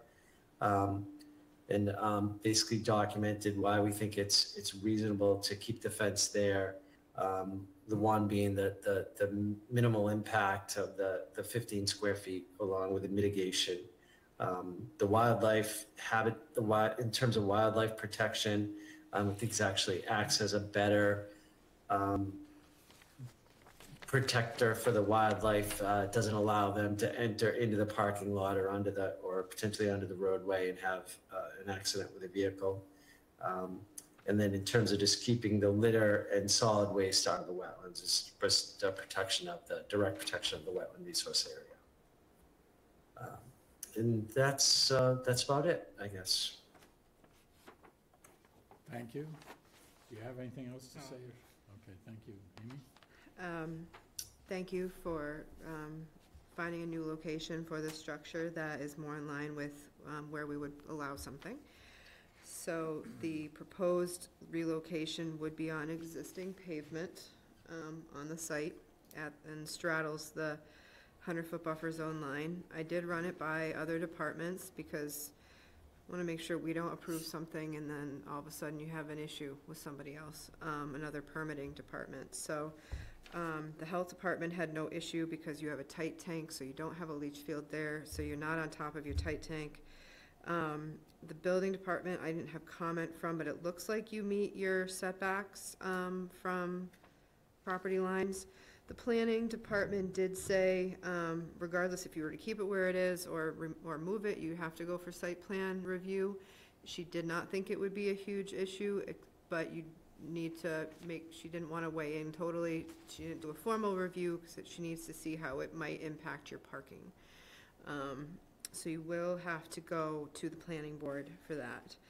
Um, I recommend approval of where the re- relocation is. Remains to be seen what type of foundation you can have, because you are in a flood zone, so you would need to put, you'd need to make it flood compliant for that flood zone, um, according to Mass Building Code. So I think that's usually like flood vents and things like that, no utilities below flood grade. Um, but the location, I think, is, a- is appropriate for us. Um, I would recommend the variance for the, um, for the fence here. Um, I've been to the site and just in general, when you have a, a store or something like that, convenience store, you tend to, you know, people, there's a lot of people around, there's things that inadvertently get off the property. So one, I think it can, helps contain debris that blows around. And also, um, as you said, do we really want wildlife wandering into the site as well? And it's right up near Route twenty-eight, so I think the, the, um, fence isn't a bad idea to keep, especially with the, um, additional plantings to create a buffer there. I just recommend a couple changes to your planting plan, um, because it is, um, even though it's near a wetland, it's, um, kind of a dry, exposed area. So serviceberry, those tend to be trees after a little while, so I would re- recommend something like beach plum instead, because I think, I, I can only imagine you may not want trees right out front there. Um, plus, they're more of a freshwater, um, and this is brackish. Um, so I'd recommend beach plum instead of serviceberry. I would recommend sweet fern instead of American holly, which also tend to like a freshwater wetter system. And instead of swamp rose, I would recommend Virginia rose, but that's an easy change that Mr. Rigo can make to his plan, if you're in agreement with those. Yeah. So, um, I would recommend, I would recommend approval of, um, of that change. I think we need to give them a time frame though for when, because this is a three-year permit, So I think we need to give them a more aggressive timeline for when the existing shed needs to be moved. Okay, thank you. Mark? Does that structure have a uh, wood floor or concrete floor? Uh, the uh, shed? Yep. Uh, would, How are you gonna take it out of there? uh, so it's like on four like concrete blocks, like the wood, uh. Or how are you gonna remove the building? Oh, just like, uh, pick it up by crane and put it on, um, you know, what we call a long bed. Yep. Okay. I've contacted a couple of people and they're willing to do it, so. Great. That's it. Jim? Okay, my only question has to do with, um, if this new location has to go through site plan review, should we be voting on this prior to it getting approval through site plan review? I think we have to. They file, um, but if it gets changed, if anything changes, they have to come back to conservation. But we're voting on what is in front of us tonight, so, Okay. yeah. I think we have an oblig, we have to act. Um, and can't wait for another permitting department. So we couldn't continue this hearing pending the, the approval of the planning board on site plan review?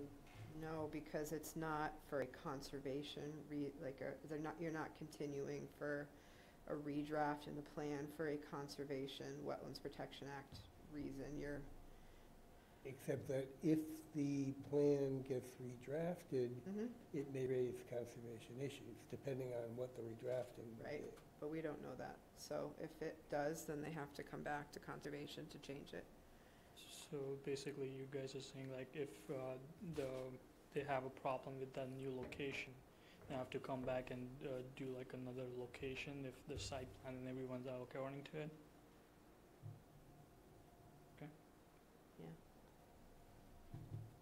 Okay, that was my only question, John. Yeah, my only thing is, uh, I don't like the fence. Um, I'm, I'm pretty sure we wouldn't permit it if it came to us as a new proposal. Um, it's, it's a vinyl fence, that's the material in the no disturb zone. Um, I, I think it's good that you moved the shed, that was the biggest concern, that's done. I don't think I have the votes for the fence, so I'm not gonna beat it any further, but I, I, I wouldn't support the fence typically. Yeah, I agree with Amy on, on the fence that, you know, rather than having trash filling up the wetlands, I don't wanna interrupt you, but I s- take care of the trash before it gets there. Yeah, I That's, that's the, understand. the onus is on the property owner to take care of the trash before Mhm. it gets there. I understand that too. Sometimes People just throw like cigarette stuff like inside. I know. 'cause- And it's hard to get it out of there, so it's easier like if the. You gotta speak at the microphone if you're you gonna need to speak get up and and say who identify you are, yourself. sorry. Hi, I'm Mayuri Patel and I'm just here with him. But um, it would be easier, like, you know, for cleanup, just because people throw stuff, like even with like little shot bottles and like, they, yeah, it's hard to clean up then. Yeah. No, I, I understand it's a practical matter, I, I And just, if you, if you don't want to go into the wetlands, like, you know, try and like, I understand, grab I. I think it's practical for you just- want to, yeah. to have it, it's installed, so it's practical not to take it out. yeah. I just think if it did come before us as a new proposal, it'd Makes be hard sense. for us to approve that mm-hmm. structure. Makes sense. Thank you. Thank you so much. okay, any more discussion here? You all set, Brad? Yep. Any other comments in the room from, or online from the public? Hearing none. I will make a motion that we approve the notice of intent for four three five Route twenty-eight, map one three, parcel S one dash B two, and approve the request for a variance for a fence in the fifty, uh, foot buffer zone. I'll second. Moved and seconded. Anything further? I'd just like to actually offer an amendment. Go right ahead, Approve The Mr. Chairman. existing fence in the zero. I will accept that amendment. Okay. I assume you accept that, Mark? I do. Okay. All those in favor? Aye. Opposed? One opposed. Three and one. Thank you. Thank you. Thank you very much. Thank you very much. Thank you.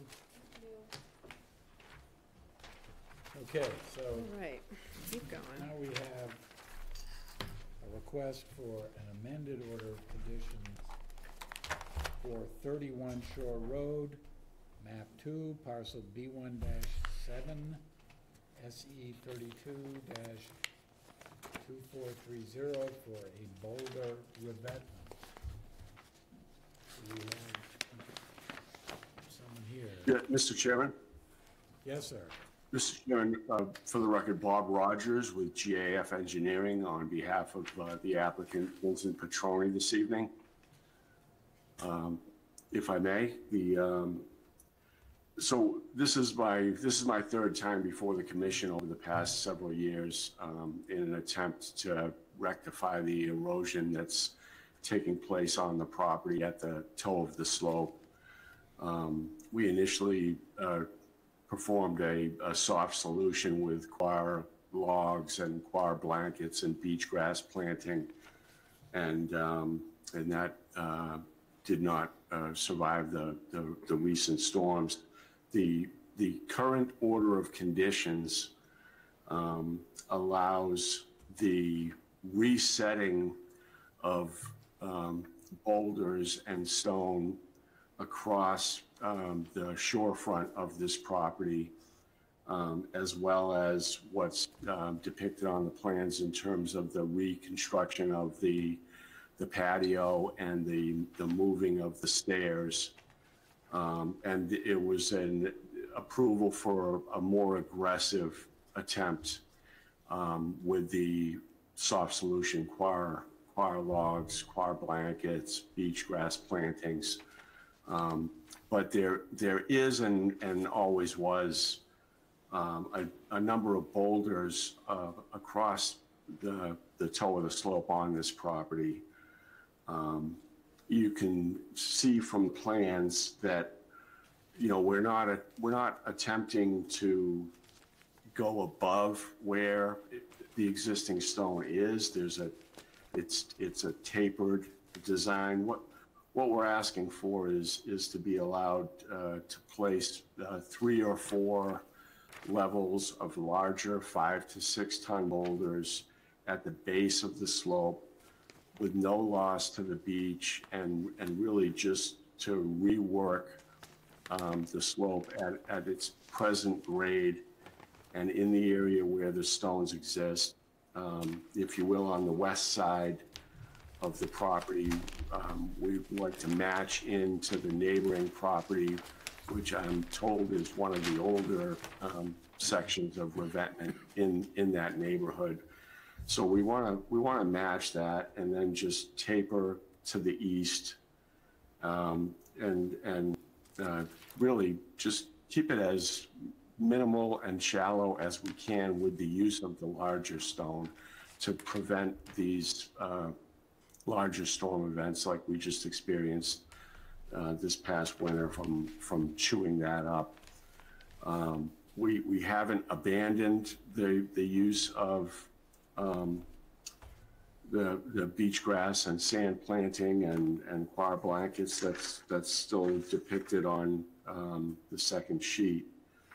Um, But we're, we're asking the commission to approve the use of the larger toe stone um, in harmony with what is present on either side of, of the property. And, um, so that hopefully this will at least get us to the point where there's much less uh, maintenance required in terms of the addition of sand and the, and the repairing of uh, the vegetation after, after storm events.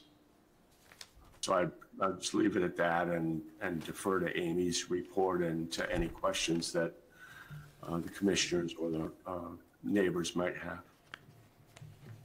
Amy? Thank you. Uh, I do have some concerns about this proposal. Um, and we've spoken, you know, about, about them over time, but, um, your pro, the property of thirty-one Shore Road has a couple of different resource areas here. Um, where you currently have rocks, it is a coastal bank, and it's been overtopped this year, so I've actually, you can see the erosion behind it, and you can see that it's coastal bank material, it's coarser material with some layers and some small stones, which is typical glacial till. The area that you're proposing to add rocks to is a traditional coastal dune with windblown sand deposits. Um, your application for an amendment did not include how your proposal meets the performance standards for both coastal bank and coastal dune. Um, so that would be something that we would be looking for. Um, traditionally, according to the Wetlands Protection Act, coastal dune, the, the landward or lateral movement or vegetative cover of a coastal dune is not to be impacted. Um, so I would be interested to, to see your, how you would meet the performance standards for coastal dune.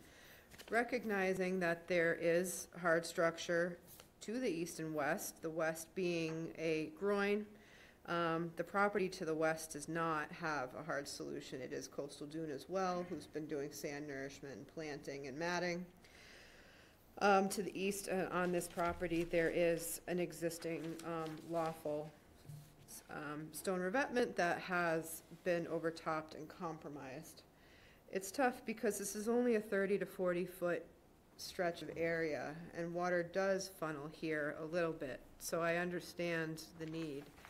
Um, but rocks are really to protect pre-seventy-eight dwellings that are an imminent threat, um, to erosion, and to my review, this doesn't appear to be for that. Um, I'd be interested to hear what you say and also what, um, your interpretation of the, how this meets the performance standards are. But at this point, I would really like to ask the county coastal processes specialist, Brian McCormick, to, to review this filing. Um, he has a large background in coastal geology. He's a free resource for the town, um, and so you will not be, you would not be charged for his services. But I would be interested in having him review the plan as well as come out to the site if you and your client were amenable to that. And I have no further comments. Sure, so, so we have no objection to that, um, Amy. Um, I think, you know, we've, you and I have been out there uh, a number of times. Um, Certainly to the west, uh, I'm sorry, to the east of the existing stairs, it's, it's clear that there are boulders there that are, um, and, and not to say that we are trying to engineer this so that it's a flat face revetment or, but, but, so, so there are boulders to the east of the existing stairs, and the current order of conditions um, did allow us to reset those and to supplement that with both some smaller stone and with the, the soft solution. And then to the east where this, I'm backwards again. Uh, To the west, where the stone groin is on the neighboring property, um, what we found when we installed the, the initial repair was that, um, you know, the duckbill anchors were hitting boulders. There, there were boulders that are, that are covered by um, sand and, and vegetation when it's in, when the vegetation is um, in, in good health. Um, But as soon as the storm came in and took away the sand and the vegetation, you, you're left with sort of a vertical face of uh, the existing stone. Um, And so, you know, I'm entirely agreeable um, to continue tonight to perform the additional review um, that you suggest. Um, But there's no question that, that there are boulders um, from one end to the other of the shorefront of this property um, in different varying degrees of um, visibility, if you will, or exposure. Um, And so, um, you know, we feel like this is um, something that is going to provide an anchor for the sand and vegetative surfacing and, and that that is still going to be a necessary element of, of maintenance for this property, um, even once, you know, if this uh, becomes constructed to the degree that we're showing it on the current plans. Okay, thank you. I'd like to ask commissioners to weigh in. Brad? Um, I think Amy's recommendation to have that peer review is really important. And um, from what I've seen, I, I- I don't really feel like it's an amendment. It almost should be a new filing if they're gonna depart that far from what was, you know, permitted initially, so, but I guess we'll cross that bridge when it, the time comes. It, it is, it does seem to be a hard challenge to um, authorize a full revetment across this location.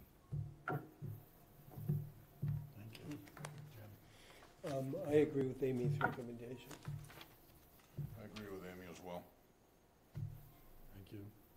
Um, I agree with Amy. I just want to clarify the work that we authorized, none of that work has been done. I, I'm, So the original permit was, but they have amended already, and the most recent amendment, correct me if I'm wrong, Bob, the original work was done, but the most recent amendment, the fiber rolls were not done. They weren't done correct for the full uh, shorefront of the property. That's Right. correct. Correct. And the original ones were completely wiped out by the recent storms. Yes. So, Yep. yes, the wo- yes, the extension of that work wasn't done, but I think um, Mr. Petroni and, and our office are in agreement that had that work been done, it would not have withstood those two recent storms. okay, my other question is about the groin there. The, the plan here shows a groin, groin going right up to the existing dune or bank or whatever it is, looking on Google Earth, it doesn't seem to extend anywhere near the, um, the existing dune. So I, um, which is the case here? Are, are you portraying stones in the groin which are buried by sand here? There is a gap out in the field. Are there photographs other than this, you know, I'm looking, I Google took Yeah, Earth we- photograph? We have many, many photographs, Mr. Chairman. I apologize for not uh, having provided those, but, but that, um, that western section of Mr. Petroni's property is the area where um, the boulders on his property were covered with sand. Oh, Okay, It- well, go ahead. When you're finished, I have a, a couple of things, but, right, well, I'm done. I guess if, if we're going to table this Mm. for further consideration, I'd just like to make photographs of what's really going on there, part of the record. yeah, Thank you. very good. Go ahead. Thank you. I didn't mean to cut you off. Um, If we're going to continue, I would like to know if it could be possible for you to explore the extent by probe, just by probing of what, if any, rocks are, are underneath there, as, as you claim there are, to have a better understanding of what's, what's under there. Um, So that would be limited to on our, on our property, correct? Understood. Because that, that, I mean, Absolutely. that groin is almost entirely on the neighbor's property. Understood. Um, I just want to have a better understanding of the extent of what is actually there underneath. Um, I think it'll help us be able to make a decision better.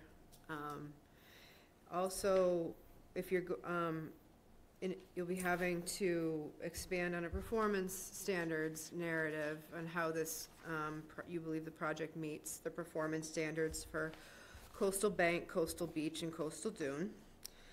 Um, I would also like maybe a little bit more information. We want to make sure whatever gets permitted is not having an adverse impact to an abutting, an abutting property. So if you could describe what mitigating efforts might be put in to prevent uh, adverse impact, especially to the neighbor to the west.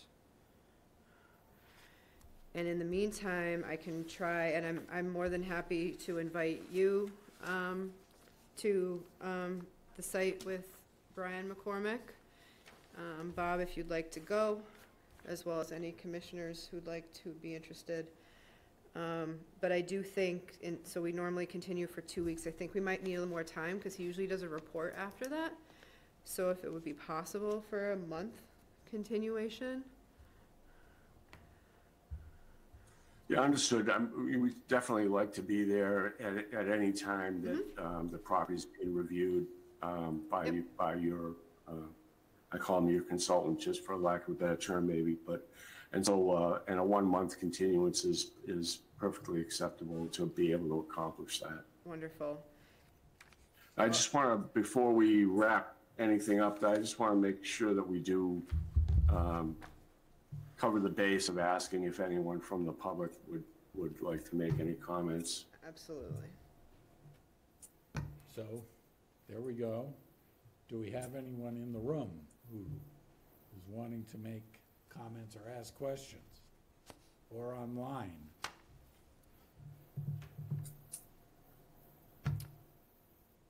There do not appear to be any Okay. further comments from the public. So, can we have a motion? for Yeah, the- hearing uh, no further comments, I just have one question before I make a motion. Amy, what would be the date of that meeting? April seventeenth. 17th, okay, fine. I will move that we continue the hearing on the request for an amended order of conditions for 31 Shore Road, map 2, parcel B1-7, SE 32-2430, to our meeting of April 17th, 2024. Second. Further discussion? Hearing none. All those in favor? Aye. Four and zero. Thank you. Thank you. Have a good night. You as well. Mm-hmm. So,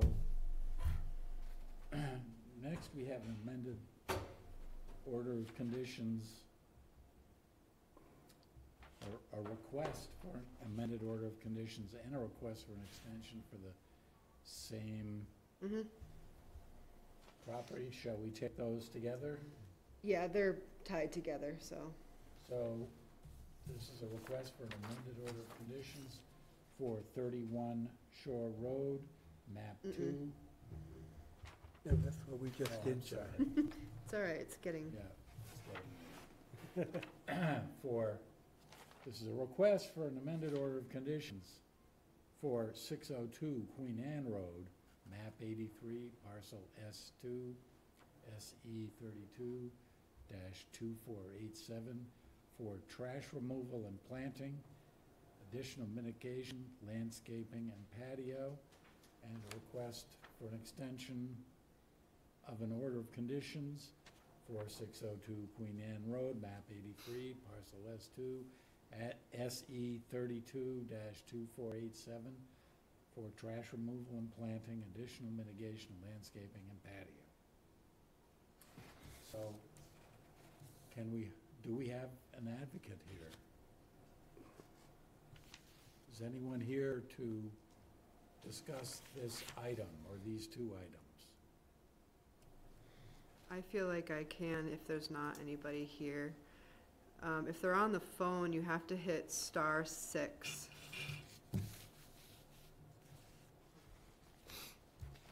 There we go. Hello? Hello. Hi, Mr. Norlander. Yes, thank you.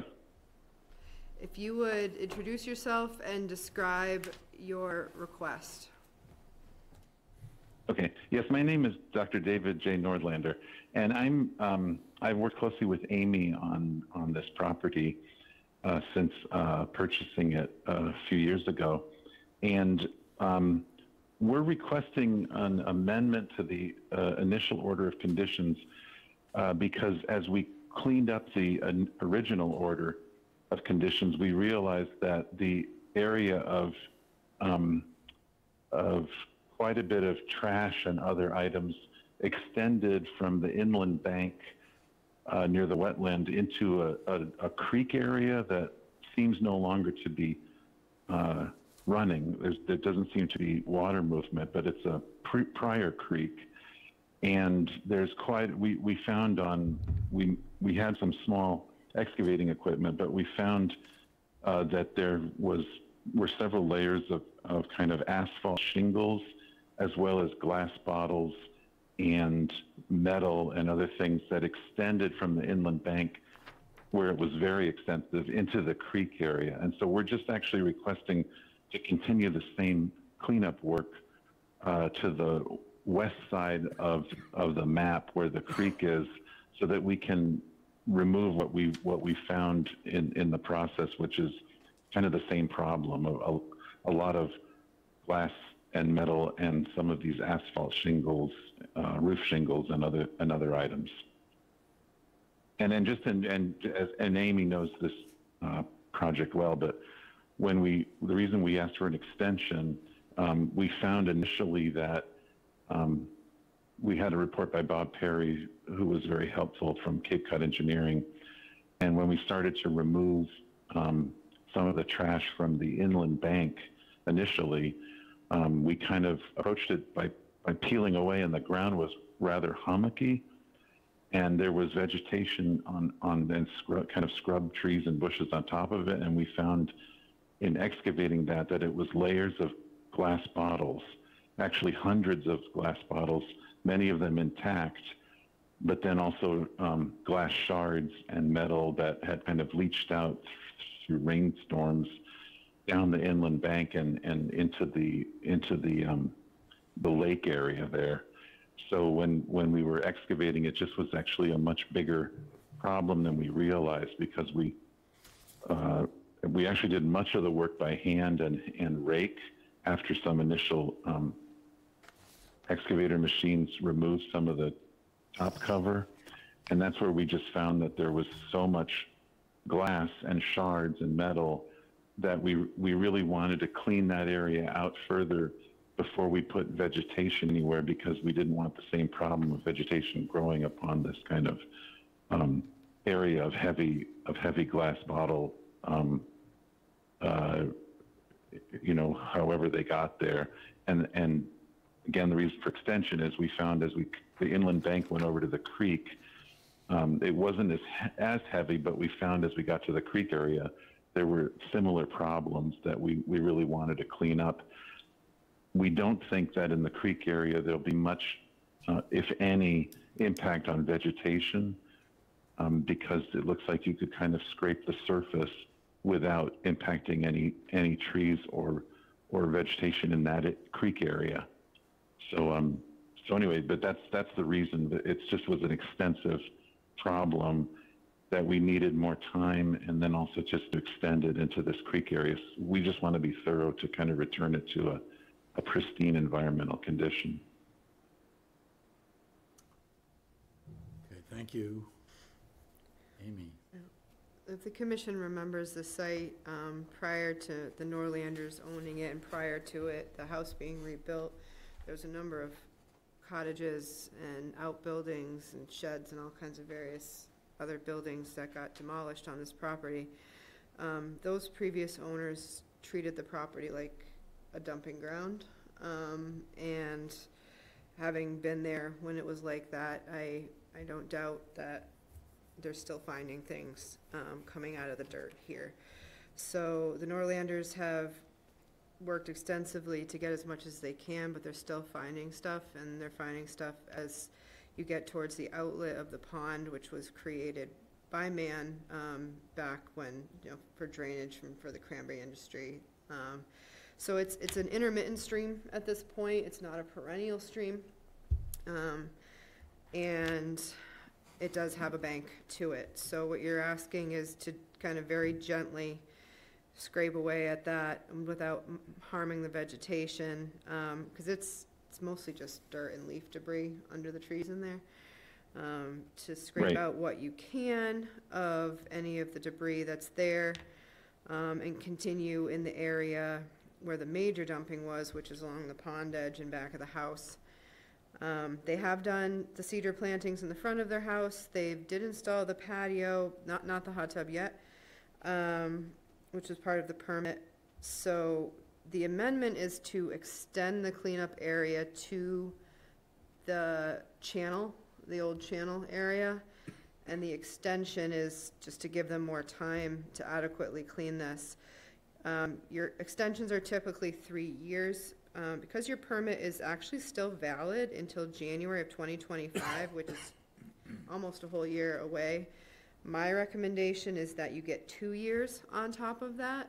Um, in, in effect, giving you, th- you know, three more, almost three more years from, from now to do it. Um, I would love, if possible, the planting to start next spring, um, just to kind of put a little more onus to, to clean it as best as you can. Um, it was a tough project for the commission in a way to, um, approve, even though it is, um, an area that was heavily dumped on, just because there is, uh, ex- there is, um, impact to the bordering vegetated wetland, um, that had to happen in order for it to be cleaned, so. I'm in favor of it, I just would, a favor, you know, essentially two years from now, and, um, just to kind of work with me to see if enough has been done so that planting can start next spring. Okay. Okay, thank you. Um, Comments from commissioners? Brad? I, I, I don't have a strong opinion, it, it, you know, I remember it was permitted, the, the disruption on the pond side just seems more than I ever anticipated, but, um, I don't know enough about this, so I think I have to go with whatever Amy's recommending. Jim? No additional comments, John. I know there was a lot of debris in there. I'd seen it quite some time ago. Um, I guess my only question is, as they clean that, will that lower the bed of that ditch to cause any outfall from the pond? I don't believe so. Um, from what David, Mr. Nor- Norlander, you can describe a little bit more, you're not pr- proposing really excavation, um, you know, major excavation of the, the banks there. No. More, more of a scraping uh, of a few inches, just to, you know, just to see how, how the extensive the problem is. The, the surface level, it was fairly extensive. Would you be amenable So we just hope to kind of probe. Sorry. Would you be Yeah, amenable? go ahead. After you did it, to have me out there and I can determine whether the slope needs to be matted and seeded in order to maintain stability? Yes. One additional question, Mr. Chair. Yes, sir. For Amy, in your opinion, will the zero to fifty here be restored, um, to what it should be given the order of conditions? I believe so, yes. Um, their replanting plan was, was very nice. And it wasn't just pristine, it wasn't just native vegetation that was there, it was a lot of invasives and whatnot too, so, um, But you there know, was a healthy buffer to the pond. yeah, there was. So, there, and there still is. Um, it's smaller now because they did have to do some excavating, but, um, I do believe that the restoration that was approved, um, will replace that. May take a little time to fill in, but it will, it will happen. All set. Well, my question is, what is the process here that resulted in having to excavate to dig out trash? That is, it sounds almost like an archaeological dig. I don't, it doesn't sound to me like that illicit trash disposal has been going on long enough to require excavation, so I don't, has there been fill brought in on top? Is it just leaf litter and whatever decaying for several decades? Variety It of is- types of debris. Yeah. It had been put there. Well, I can, yeah, Wait, hang on a sec, let, It was a whole Okay. property that got, stuff just got tossed in there over a lengthy period of time. Very long period of time. Long period. Settled down, got in there. uh There was, so what you're finding now, and David can weigh in, but you're finding hopefully the last of it. Stuff that was on the top, like the paint cans and the um, detergents and um, the superficial trash, that was gone, that was cleaned up before, for the most part, before the Norlanders bought it. But it's the stuff that's over years that was tossed and remained and got crushed into the soil that's still coming up. It's going back about two generations. Yeah. So more than a few decades. yeah, and we did, and, and what we found just, we, we tried to carefully peel back from the inland bank, and it was, I mean, Amy came over and I showed her, we, we retained some of it. The bottles. Um, there just was a shocking number of glass bottles, just continually, as we raked, we, we just, we just come up with, you know, Mhm. 10 to 20 glass bottles at a time, and that was what was kind of shocking. But the whole bank had had kind of this la- few layers of glass bottles instead of soil. So that was why we peeled back there to make sure we could get rid of that because we didn't think vegetation would grow well above it. It was so much glass. A lot of glass. So you're not thinking there's going to be a point where it's gonna be better just to leave what's there, there, and put- Hopefully put not. some uh, topsoil on top of it? So glass in general is, is benign and inert, so if you're just finding little bits and pieces of that over time, I think that would be acceptable. We're not gonna get every, you're not gonna get every single little piece probably. But, um, I think we Right. give him the extra two years on top of what he's already got to continue with it.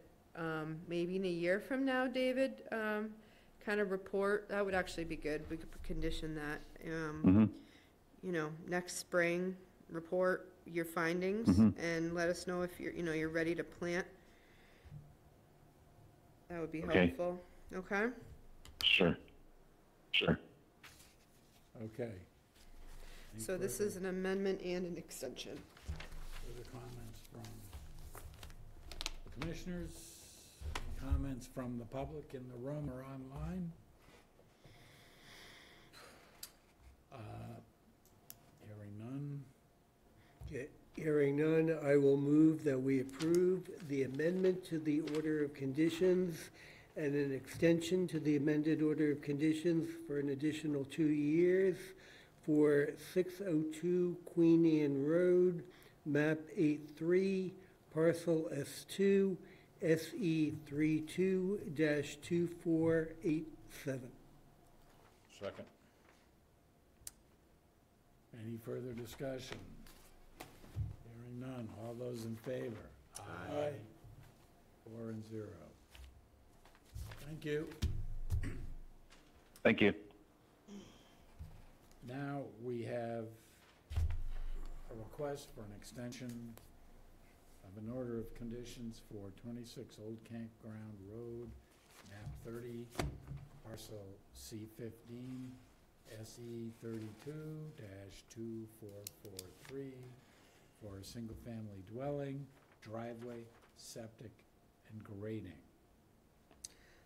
We didn't have a voting quorum for this request at the last meeting, so we tabled it with no comment. Um, the owner has just started construction this winter, um, due to a variety of reasons. Thus far, everything is going well. I did a site visit. Um, this is their first extension request, and I would recommend a three-year extension. So we don't have anyone in the room who has to uh, recuse themselves, okay? Discussion. Nothing from Mark, Jim, No comment? Brad? I have no comments. So, Okay, uh, I will make a motion that we approve the extension for the order of conditions for 26 Old Campground Road, uh, map 30, parcel C15, SC 32-2443, for a period of three years. Second. Any further discussion? Hearing none, all those in favor? Aye. Four and zero. Okay, now we have a request for a certificate of compliance for thirty-two Dunes Road, map five, parcel W one dash fifty-two, SE thirty-two dash one four nine eight, to construct additions. This was an old permit, and there's a newer one that superseded it that we've also granted a certificate of compliance for. This was caught in a title search. The property is in the process of being sold, and it's a hindrance on the deed. We have done a site visit and found all the work to be in compliance. Um, and again, there's more active, more recent permits that superseded it. S- Um, we would recommend a certificate of compliance. Okay. Any comments from the commissioners? No comment, John. None. Could we have a motion? Sure. I'll move that we approve the issuing of a certificate of compliance for 32 Dunes Road, map 5, parcel W1-52, SE 32-1498. Second. Further discussion? Hearing none, all those in favor? Aye. Aye.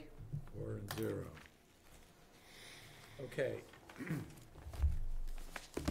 Now we have, um, There's four of them if you wanna. four requested certificates of compliance for four forty-three, Route twenty-eight, map thirteen, parcel S one thirty, uh, SE thirty-two seven three seven, SE thirty-two seven six eight, SE 32-775, and SE thirty-two one eight five six.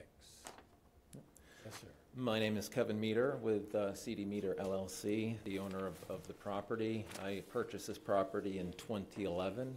Um, I'm requesting uh, certificates of compliance. I'm currently in process of selling the property, and we found uh, these four orders um, were not completed by the previous owner.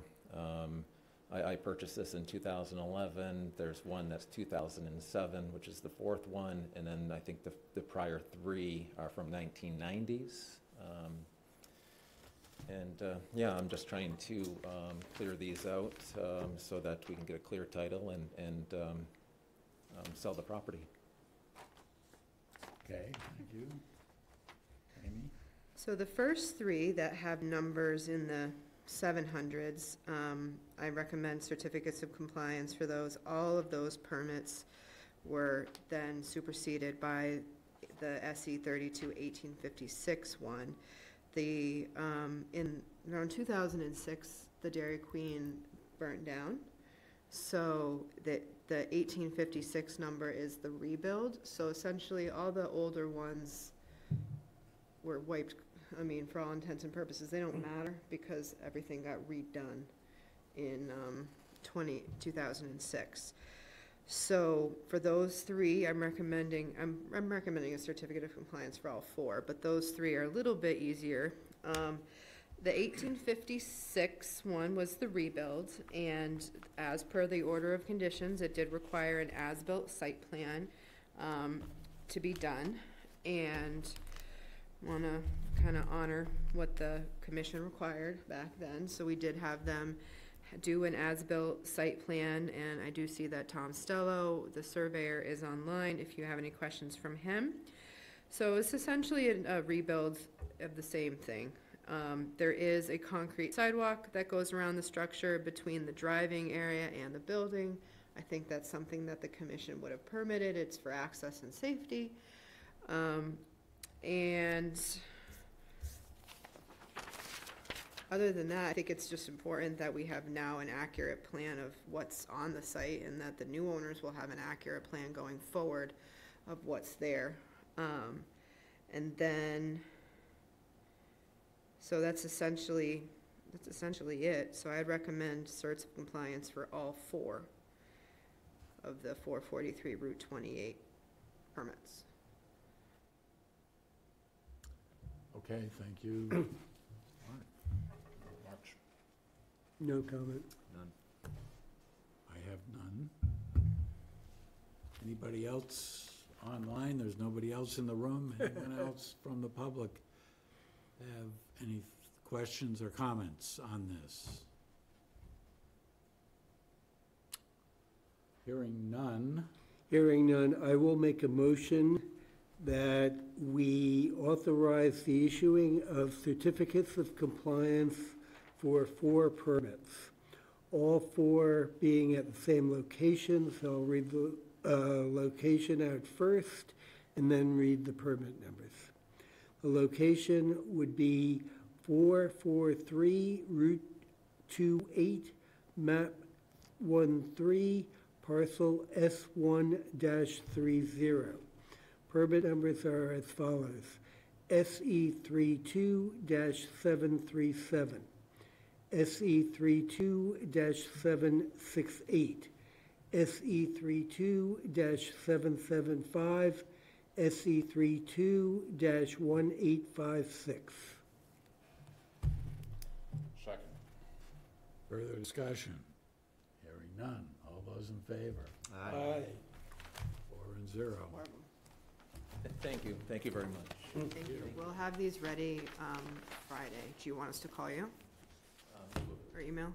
Yeah, email us. Yeah, because they have to be physically brought to the registry of deeds and, um, signed there, brought in there and recorded. Okay? All right, thank you, thank you all. Thank you. Next, we have uh, a request for a certificate of compliance for 29 Snow Inn Road, map 8, parcel P4, SE 32-777. This is another that was picked up by somebody doing a title search um, on sale of a property. This was back from the 80s or 90s, I think early 90s. And it was a construction of a deck. Um, And we don't, the plans are so old, it's hard to really kind of tell. And no as-built was required. Um, But it does, it looks like it should, and it has not changed in a very long time. So the rest of the property is in good condition. We would recommend a certificate of compliance, and it looks like there might be somebody online. I, I, I hope you can hear or see me. You can see you, there's a bit of an echo. Let me, let me see if I can change that quickly. If not, We can hear you okay.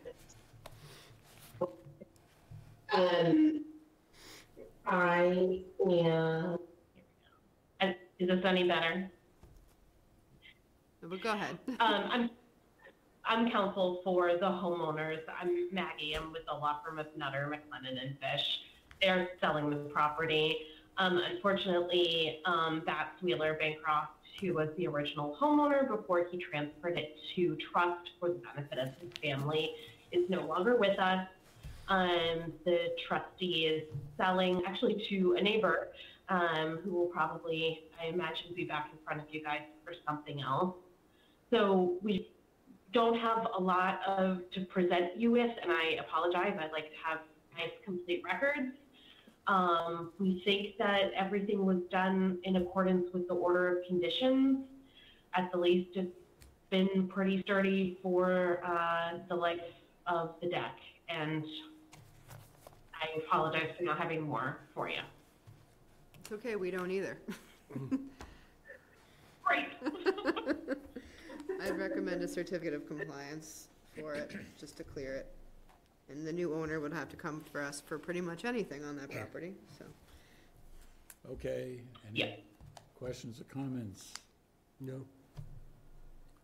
Oh, So, Okay, so uh, hearing no questions or comments, I will make a motion that we authorize the issuing of a certificate of compliance for 29 Snow Inn Road, map 8, parcel P4, SE 32-777. Second. Further discussion? Thank you. Further discussion? Hearing none, all those in favor? Aye. Four and zero. Thank you. We're all set. Thank you. Thanks. Thank you. All right. Next is minutes for March 6th. I have no comments. I have no comments, Chair. No comments. Absent, no comments? Okay. Well, I move we approve the minutes from March 6th, 2024. And I'll second that motion. All those in favor? Aye. I have one request. Hmm? I have one request on minutes. Brad, you had mentioned at the last, or maybe it was the second meeting in February, that you would wanted to review the first meeting in February a little bit more, review the Yep. tape. Yep. Um, so if you have a chance to do that, because you fe- felt like you're, it wasn't adequately represented, so if you Right. could do that and let us know any changes Yep. you have to the first February meeting, we can get those sets done relatively quickly too. Thank you. Um, I have one quick thing before we go to the, um, land management plan. Mm-hmm. And I mentioned I would um, let you guys know about this. So the local comprehensive plan is in the process of being done for the town. And it's primarily through the planning department, but it has input from the local planning committee um, and several other departments. And they're having their kind of first public roundtable presentation of the draft plan this coming Saturday. I believe it's at the 204. I can send you more details about the exact time and place. Um, They would love if anybody from the Conservation Commission could participate. I unfortunately won't be here that day, um, but I will send it around, and your, your input is very much welcome and wanted. So I'll send you the, the the details, but I just wanted to mention it This is this coming Saturday. this Saturday. is this coming Saturday, Okay, okay? thank you. Yep. I think there'll be more, but this is the first, this, there might be more than the one, but this is, the this is one. Do you know what time it is on Saturday? I will, I'll look I for will, your email. I will email tomorrow. Okay. I'm gonna put, em- email commissioners. Okay. The Bell's Neck. Um, I got you a, hopefully what's close to a final draft of the Bell's Neck Land Management Plan without all the track changes, because there were so many, I find myself, it's hard to read with all of those at that point. Um, so, I'm still working on the appendices, and, because a lot, a lot of things have to get updated for the appendices, the title information, the maps, um, I'm about halfway done with those. Mark did send a email today of suggestions what to add, and I tried to incorporate those, um, the majority of them into the last section of the document. Um, my thought going forward, whether we start talking about it tonight or not, is to really come up with prioritizing goals going forward. Um, sorry it got to you so late, but I promised you I'd get you something for this meeting. Um, happy to discuss tonight or at any future meeting. Well, I didn't have a chance to review the thing you sent today. It's fine. Um, What, what, what is the next meeting looking like at this? point? Lighter. We should set aside some time so that we can have, we can all review. Yeah. And the I feel current like draft I- Without the confusing, uh, Right. strikeouts and Yep. additions and whatever, and That's why I gave it to you, so you could take it home and write or type. I can send it to you electronically, too. and a really nice think you did. photograph.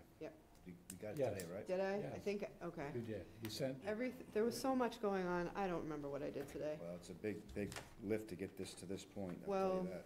it's way overdue, and I apologize for that. Well, you Um, shouldn't, you shouldn't apologize, you got a lot going on. I think it's great, one question I do have is, do we need a, a public hearing, um, for this, like a line item public hearing? I believe so. I thought right now, we're still, until, I feel like until we are good with the document and ready to present it to the public, that we should still have it here. Okay. So when, if we discuss it again, and if you at that point feel, the next meeting or the one after, that you're ready to present it to the public as this is our revised plan, then we'll have an advertise, then we'll put it as a public hearing. Okay. Yeah, that, that makes sense to me. I'd rather not deliberate too much, you know, at a public hearing. I want us to have a uni- unified front, Yep. So. Well, one thing I think we should talk about, and it- it's up to you, Mr. Chair, if we talk about tonight or later, um, in terms of goals, the, um, where is it? Goals are at the very end, section Yeah. six. I, I think the, the whole alteration of the parking lot at the Herring River West Reservoir Fish Ladder and the whole ADA concept, I don't know if we've really vetted it that well. I don't think so. Yeah, I, I think it's there. Um, So I think we should, as a group, really think about that. I think there's, there's a lot of good pieces to this. Mhm. Um, We, we did vote to close it at night with a gate, and we, we haven't gone further with that. Do we revisit the gate? Do we um, solidify that vote?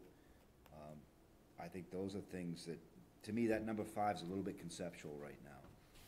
And so It is. I, I will admit that was kind of a, of like a quick add, just to get something in there for discussion purposes. Right.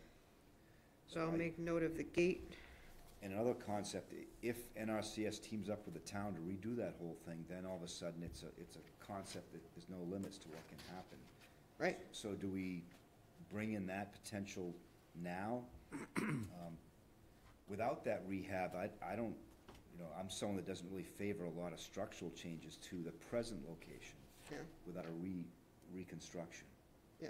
Um, so I, I, I think it's a pretty important thing. And are we required to do ADA, ADA? Yeah, so you, you want to It's improve not that. new. Something new, yes. This Right. is not new. So I, I think you want to improve that access. Yeah. Um, do you want a lot of structures in the zero to fifty to do that? So, you know, can you have, you know, soft structures? Can you have, you know, a, a level pathway that people can access? Right. So I think it's definitely something that, otherwise, I'm really close to being, uh, I'm good with this document, one more edit. But I think that's an example of a goal that I don't think we've fully vetted as a group. That's good. So I don't know if we want to talk about it tonight or just wait till we have everyone present. well, if people have comments to make now, I don't, Yeah, I mean, I'm happy to make notes, because I can improve it in the next couple weeks. A question that I would, I'm asking of you is now that we have these priorities, is to prioritize the priorities. Um, in term, and we could do something that's, could do it regardless of cost, or what we could do is two columns. Low-hanging fruit, that's gonna be basically town labor to accomplish and things that we might need, engineering, design, you know, per, other, other types of things that are going to, that we're gonna need funding for. Um, so in my mind, there's, there's two categories. Um, so you have two, two priority categories. You have the, the low-hanging fruit, the easy to accomplish with minimal input, and then the longer-term things that are gonna require more substantial dollars. So, I would like, instead of it just being items one through ten or whatever it is here, it would be helpful for me to prioritize that list, you know, one being the highest priority going, going forward, so we can accomplish things. So, that just doesn't, don't need that tonight, but as you're reviewing, and as we discuss.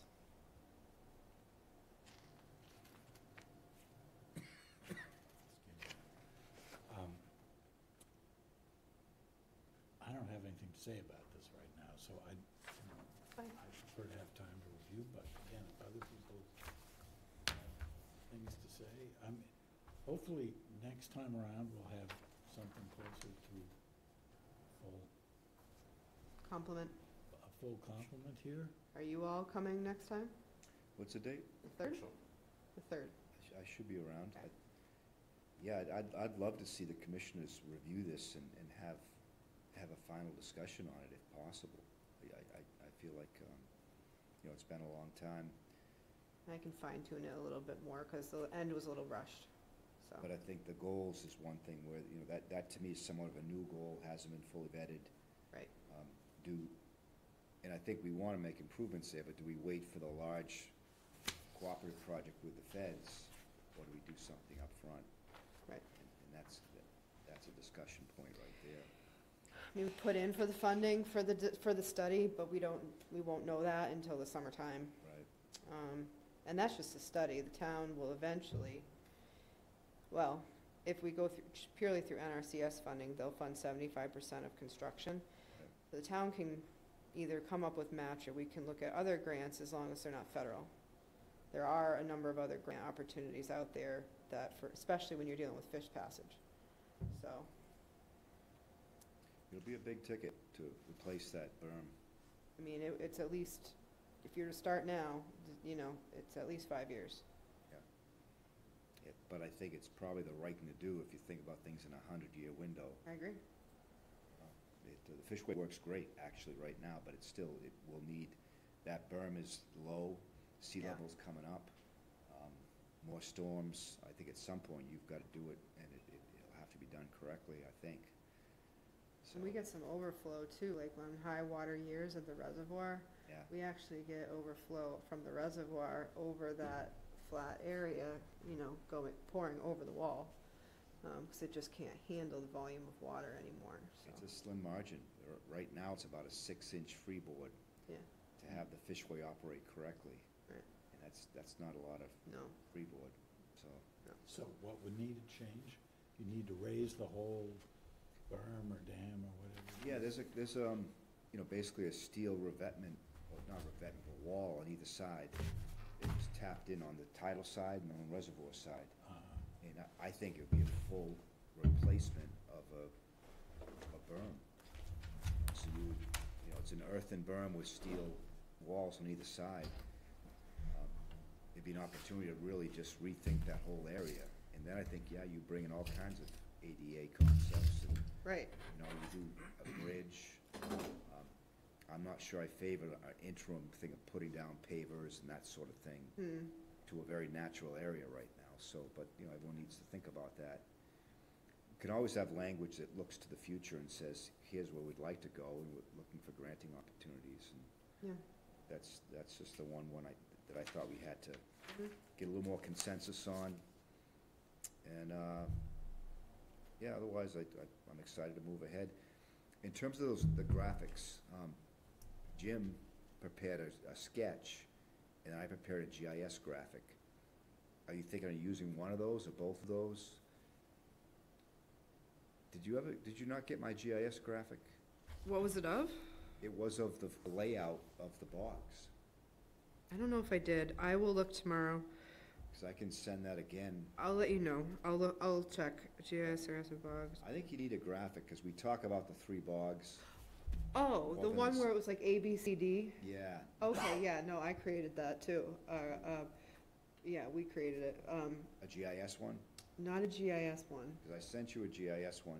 Jim, Jim created a sketch way back, Yeah, and it, it's a rough sketch, but it kind of, it shows the public here the, the areas. all right. I think you need something like that. I, yeah, I was thinking we missed that. I did one in GIS with an ortho view. Okay. So, a We satellite. don't have GIS here, so Well, I I- just did you know, Mass Mapper. Okay, well, look, look what I, if you don't see it, let me know, I'll resend it. I will, I'm, And I'll I- look I tomorrow. basically sent you a draft. I, that, that could be a good thing to put in there, because it shows you the different locations. Yeah, definitely. Well, we have, um, a number of new appendices, so. Yep. We did a climate change one, FEMA flood one, all that, so. Oh, yeah, one more, the- the uh, citations for the climate change piece are below the climate change, and do you want, want to have all citations in one place? in the Yeah, at the end. Okay. I just copied, for, I just Yeah. copied and pasted. Yep, Put, put all citations at end. yep. Well, some of them are in the body, like if I, if I did a website, I would just put it right in the body, but it's also that way, if we put it online, it's interactive. Yeah. People can just click and Yep, go. like a footnote. That, that But- works. Is Okay. clock an hour back? It is, Ah, yeah, so it's nine oh six. time to eat. All right, Okay, thank you all. Thank you. anything else?